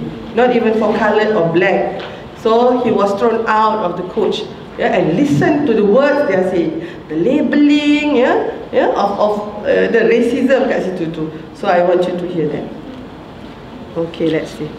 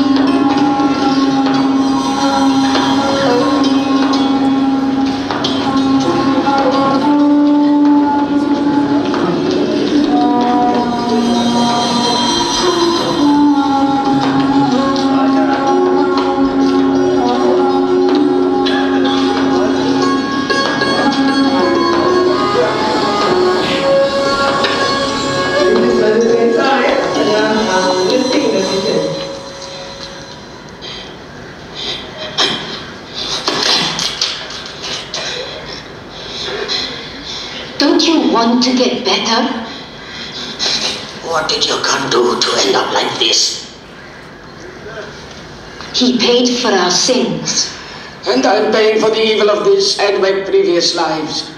This life and the others. Is that what you believe? It is my karma. Leprosy only affects those who have done wrong in their previous He's lives. a reporter? Just tengok Mother Teresa. And no one wants anything to do with lepers. Lepers don't exist. Leprosy exists, but it can be cured. Hmm. What is the point of getting better?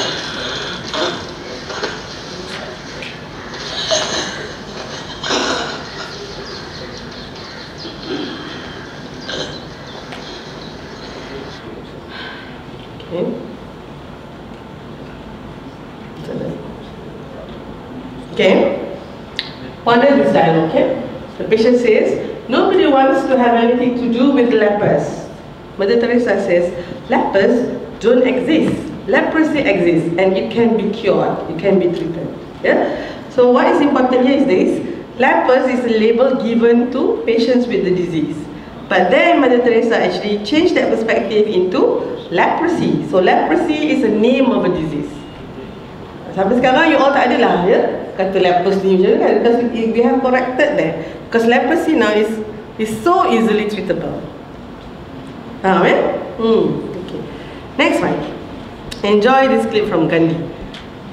this is the time when Gandhi still has his hand because he was a young Gandhi then.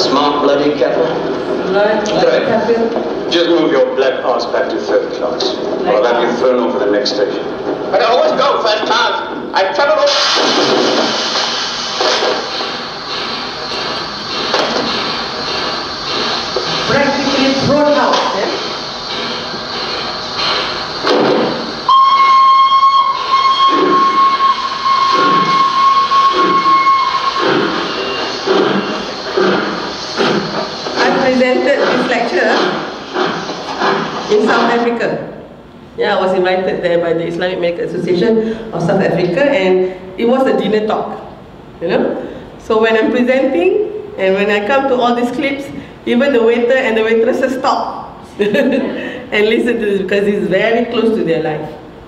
Apartheid. Yeah? Uh. So, apa yang dia cakap eh? Ponder this assertive statement. Assertive maknanya, you know, stand for your right. Gandhi to the two white men. Sir, I was called to the bar in London and enrolled into the High Court of Chancellery. I am therefore an attorney, and since in I am in your eyes coloured, we can deduce that there is at least one coloured attorney in South Africa. Oh, I hafal dah. Huh? Faham ke? Ya, ya, orang kata there is no coloured attorney in South Africa. Kan masa tadi tu kan, ya? And all the names, ya. Uh, Kuli. What are you doing in the first class? Kuli. That is Kuli. And then dia kata bila bila you know the Ga- Gandhi has said all this statement, kata smart bloody kafir. So there is another statement. And then this ticket uh, inspector was saying, uh, move your black ass, yeah. S lah kan. You black us to the third class where you belong. Or I throw you out in the next station. So he was practically thrown out. Okay? Hmm. Now, this is on religious diversity. I'm sure you have seen the Kingdom of Heaven. Towards the end of that, yeah, there is actually a very important true event where uh, the Crusader has to uh, su uh, surrender to the Muslim, which was led by Salahuddin al-Ayyubi. Yeah? This movie was banned in Sweden yeah, because of the true depictions of the Muslim. Yeah? Pelik lah ya. Uh, but then this is if you look at the ni, uh, Hollywood was trying to be very very fair on this because it's always yeah, a very wrong depictions of the Muslim and portrayed in the movies selalunya. But there was a true event whereby there was a negotiation between uh, the Crusader, yeah, uh, in this case led by Valiant Orlando Bloom, yeah, and then uh, and Saluddin Al Ayyubi. I want you to actually see how they negotiate yeah? and the respect that they have for both religion. Yeah? Okay, this is will be in two clips. Yeah? Can I have the lights off? It's somehow nanti kan dia tak apa ni. Yeah? Sorry lah, I daripada UK ni dia terikut-ikut Queen English sikit. Yeah? Off the lights.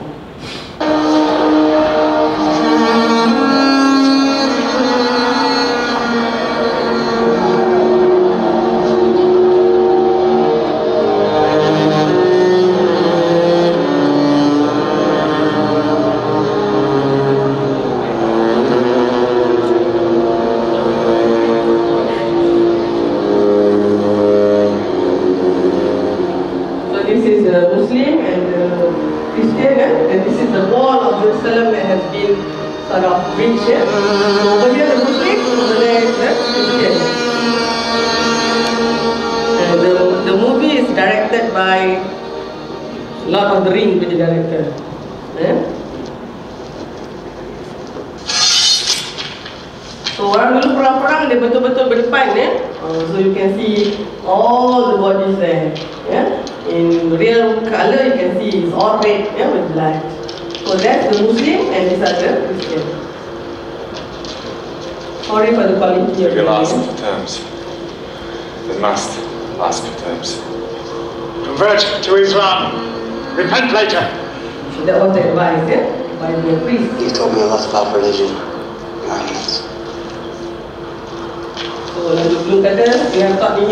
Religion. Now he's going to go on his own. Eh?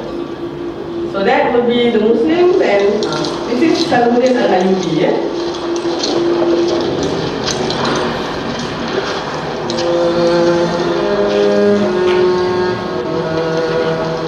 What do you eat, Nasiti?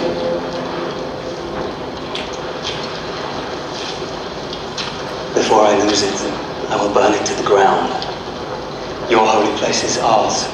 Every last thing in Jerusalem that drives men mad. I wonder if it would not be better if you did. You will destroy it? Every stone. And every Christian knight you kill will take ten Saracens with him. You will destroy your army here and never raise another. I swear to God that to take this city will be the end of you.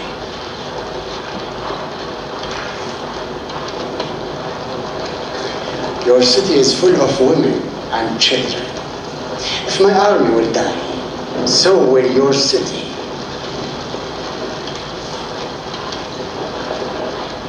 You offer terms, I ask none.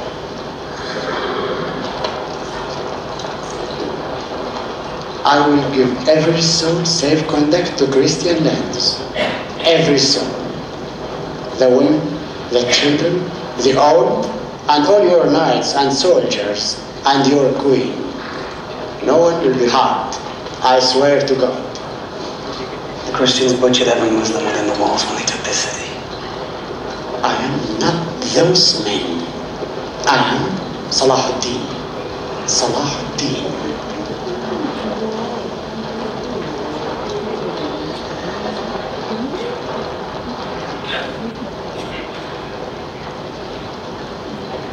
Then under these terms I surrender Jerusalem.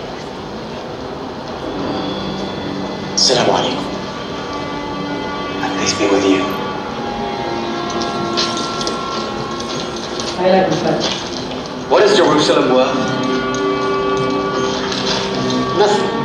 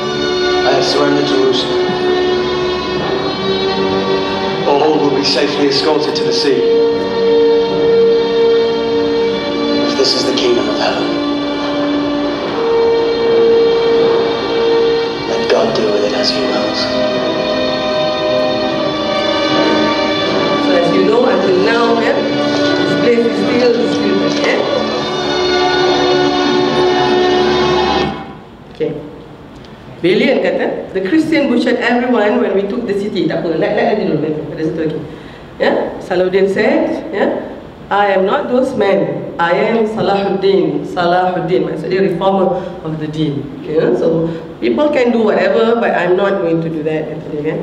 So this is the last yeah, to show how how respectful they are yeah, on each other's punya yeah, uh, symbol of religion. And see how Salahuddin actually when he went into the castle. Yeah?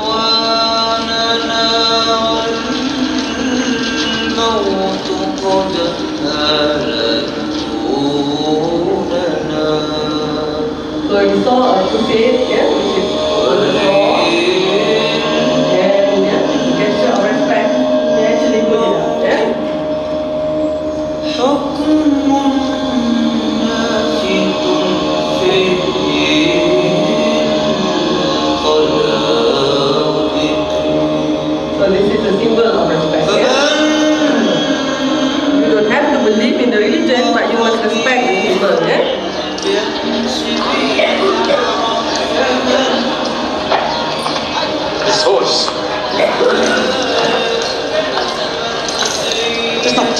very good. Uh, the, the earlier part of the movie, they had an argument and this man, the Muslim man won this horse from. So he's the. If God does not love you, how could you have done all the things that you have done? He's really Waalaikumsalam. Oh, ada pun dulu kata Waalaikumsalam. Ah. Okay, So, in this movie, um, Billy, apa, Orlando Bloom says Waalaikumsalam. Eh? But you realize in the first clip, Salahuddin said Assalamualaikum and said, May peace be with you. But in this clip, it's him, himself, himself who says the salam. Yeah? Okay. Now, finally, the take-home message. eh? As human beings, we might not be able to avoid get you know, negative feelings, negative emotions towards someone, something, or some situation. Yeah? You might be, you know, you have been born, yeah, and being raised up like that. So bila jumpa, ah, tak sedap hati, ya. You, bila orang tu duduk sebelah you, ah, but that one I cannot help. You know, you might be raised with that. But as medical doctors, as future medical doctors you all are, we must never translate those emotions into negative behavior and also negative conduct. Dengar ni, dengar, dengar. Listen very carefully. Yeah, I cannot do much about how you feel about other people. Dan dari kecil agaknya mak you dah ajar macam tu. So sekarang ni kita memang eh, bila buat alergi ke sikit. Eh, macam mana lah kan? Ada mak you ajar, eh orang Jawa jangan cakap dengan dia orang contohnya. So bila you tahu I ni orang Jawa memang ah tak suka macam tu kan. But as a doctor, we cannot translate those emotion yeah, into negative behavior. Itulah nak jadi doktor kan. So I, I was asked by my student. So do we have to act it out, doctor? Yeah? Do we have to berlakon kat situ? I'm afraid yes. I'm afraid yes. You have to somehow, somewhat, in the beginning, yeah, you have to actually teach yourself how to do that, how to be respectful, and it's not easy sebenarnya, yeah. But later on, it become a part of you, a part of how, yeah, how respectful you are. Your fifth mind tadi, respectful mind, and your fourth one, then, yeah. So I think this is the most important message I want to give to you all. Yeah, never look at other people as somewhat deficient. That people can always be better than you. Yeah, but be more respectful. And as a doctor, tak boleh nak translate all this negative behavior. Conclusion: Managing diversity is an important skill for health providers, not just for health providers, for anybody else. What more so for health providers? Sebab I tak boleh imagine a doctor who is biased, a doctor who is racist, a doctor who is discriminative. Tak boleh, I cannot imagine. Ya? Yeah? Tiba-tiba I pergi kat you, doktor Hasna orang Jawa ya? Ah, I tak treat orang Jawa. Tak nampak dekat depan tu. No Javanese please. Tak ada. Ah, oh, tak baca lah. Ah. Because that was how apartheid was. this is the white toilet, the black toilet, you know, black and color contohnya. Yeah, when I was in in Cape Town, yeah, about the year 2000, the moment I stepped into the taxi, I said, ladies, I, was my friends, yeah, ladies, you are colored. So I said, well, from wherever we, from where we come, everyone is colored. Yeah, yeah. So they kata, no, over here you are colored, yeah, like me, yeah. Uh, we have the white and we have the black. Yeah, so tu dia, punya segregation tu. Okay. Diversity should be seen as a strength ya, not a liability. After I get to know about this, I feel like Masya Allah. Can you imagine everybody likes the same thing? Semua orang suka baju-baju air ni. Tak adalah orang yang colourful-colourful. Yeah? I remember going to um, apa Nagoya Textile lah, nak beli kain. Ada satu kain tu, Ya Allah, all the colour in the world kat situ. I kata, Ya Allah, siapa nak pakai baju ni? So I take a walk, yeah, About two, three minutes later, and then I heard somebody behind me, Ya Allah, kak cantiknya. And I was saying, my God. I, it's, it's not that colour. Bila I turn, the two ladies were holding to that, to that, to, apa kain yang I kata, siapa nak pakai ni? So I said, okay, Ya Allah, point taken, ya. Yeah. I learn my lesson. Immediately kena tegur, eh. Okay. The best approach to handle diversity is to celebrate and embrace them. Yeah? Don't look at it as a liability. It makes your life colourful. Yeah? Now this is my small family. Yeah? Malah Dr. Abdullah tunjuk family dia juga. So I kena tunjukkan juga lah. Yeah? Um, this is my daughter, 18 going to be 19. Not not available anymore. Sorry guys. Yeah? Okay. Uh, and then, um, so uh, I, my personality is uh, love language. Uh, yeah? My love language for my um, myself is study, physical touch. My husband is quality time. My girl, words. You know, she's very good at words. And how do I show my love to her? Yeah, I will always send this message, yeah, or through the FB ke apa. Ka, I can never thank Allah enough for giving me the honor to be your mother. Of all the mothers in the world, Allah has picked me up to be your mother. Or she can live with that for a month. Kenyang. okay. But my son Syamil, give. Kau cakap lah macam mana pun Takkan cakap je Mi mana dia bendanya So like this one he's messaging me Alah, Dah jumpa belum? Dah jumpa belum? Mana adalah benda yang dia suka beli kan ya? Okay. And my daughter Dina Sofia Dia touch Just like me So we both are very cuddly-cuddly you know? So masa dia kecil yeah? Kalau nak pergi kerja ke I would have hug her Kalau dia masih tidur semua kan uh, And then kalau tak She would woke up very cranky Sampai my maid tahu Telefon hari tekak pagi tadi tak peluk dia ya. Kenapa? Ni semua tak kena ni. Pakai baju ni tak kena, tak kena. Because she get very cranky if I don't really hug her, you know, and, you know, duduk dalam katil dia sama-sama dengan dia. So that's how, you know, we express love to each other. Quality time is my husband ni. So I kena bawa dia pergi Seoul 2 minggu lagi ya. Okay. Now at the same time, I have my own setback. Yeah, I lost my son, my second one. Yeah, Ahmad Sofwan Hani. Uh, if he's around, he will be 17. Yeah, uh, and uh, well, uh, I showed this because someone said, Doctor, do you have any setback in your life? You don't seem to have any. Everything you want, have. No, I have my own setback. I lost my my father when I was in third year. Yeah, I lost my uh, son. Yeah. Uh, uh, three months after I lost my youngest brother uh, in Jordan, died due to some uh, uh, accident there as well. Yeah? And I lost my eldest brother in the year 2000. So I lost all the men in my life. Yeah? Uh, so that is my setback. But I guess yeah, this is a part of being human being. I want to leave you. Yeah? I'm going to go to Cairo pula kan. this was the newspaper cutting in 1984 lama tu pun eh uh, budak-budak ni memang tak ada lagi di zaman Azali lagi ya. Okay. uh, anu masa tu uh, I was the best student for SPM I got 10 A's. Eh, itu 1983 tau. Sekarang ya tak heran. 10 tahun 10 A. 1983 so masa uh, I was Sri Putri Uh, masa berita harian punya reporter ni datang Dia datang mesti dengan fotografer ya. So dia ambil gambar, ambil gambar fotografer tu Dia tengah tanya tu, dia tanya, dia, dia, abang nak tanya lah Macam mana boleh banyak, banyak sangat A ni? Abang dulu satu A pun bayar. Lepas tu, ya, uh, fotografer tu kata Tu sebab kau jadi reporter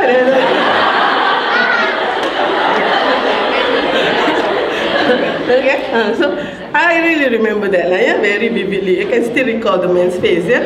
So anyway, Masa tu dia tanya I Sebab masa zaman tu Budak-budak pakai tudung ni semua Eh ni budak dakwah ni Memang tak tak nak belajar ke apa Which I didn't yeah, I teringat hadis Rasulullah kata, ya, hikmah itu adalah satu yang hilang daripada orang mukmin dan dia mesti ambil di mana saja dia jumpa. Dan bukan ambil saya tahu dia kena be the best. So, you know, I was the best student, yeah.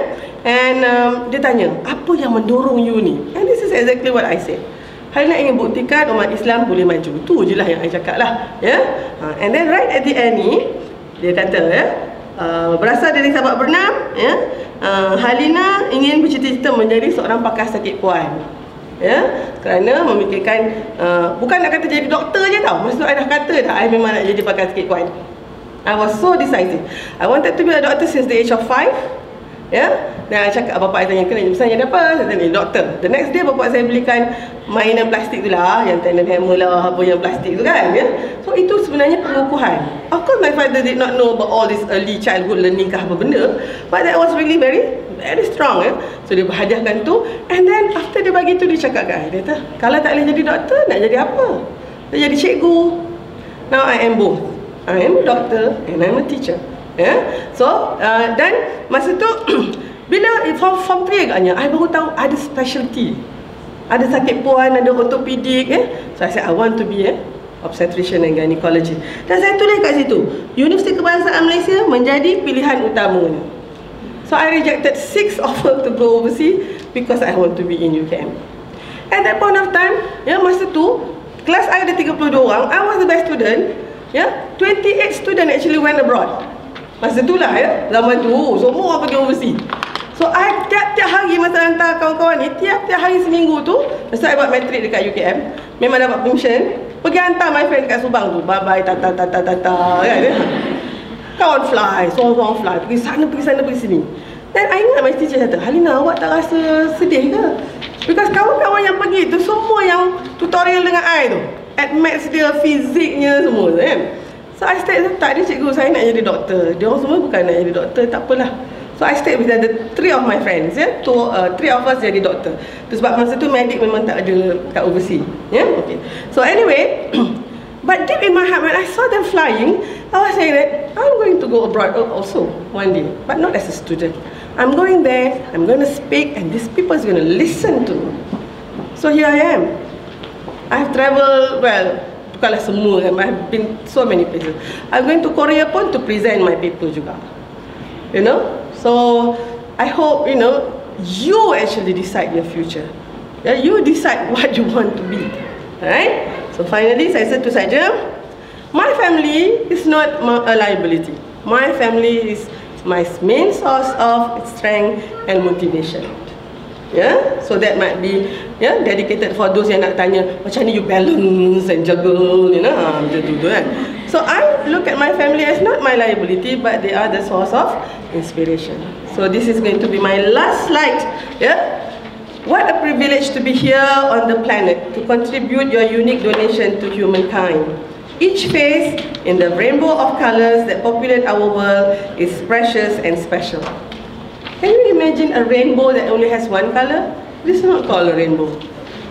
a rainbow is a very natural and nice and beautiful phenomenon because all the different colors decided to yeah, uh, stick together and you know line up one after another. So that's exactly the lesson learned from the rainbow. Yeah. So itu saja. Terima kasih banyak-banyak ya kepada semua atas peluang yang diberikan ya. Of course ya, even no matter how good I am as a speaker, kalau saya datang sini seorang-seorang, kau orang tak datang, aku cakap seorang-seorang lah. Ya.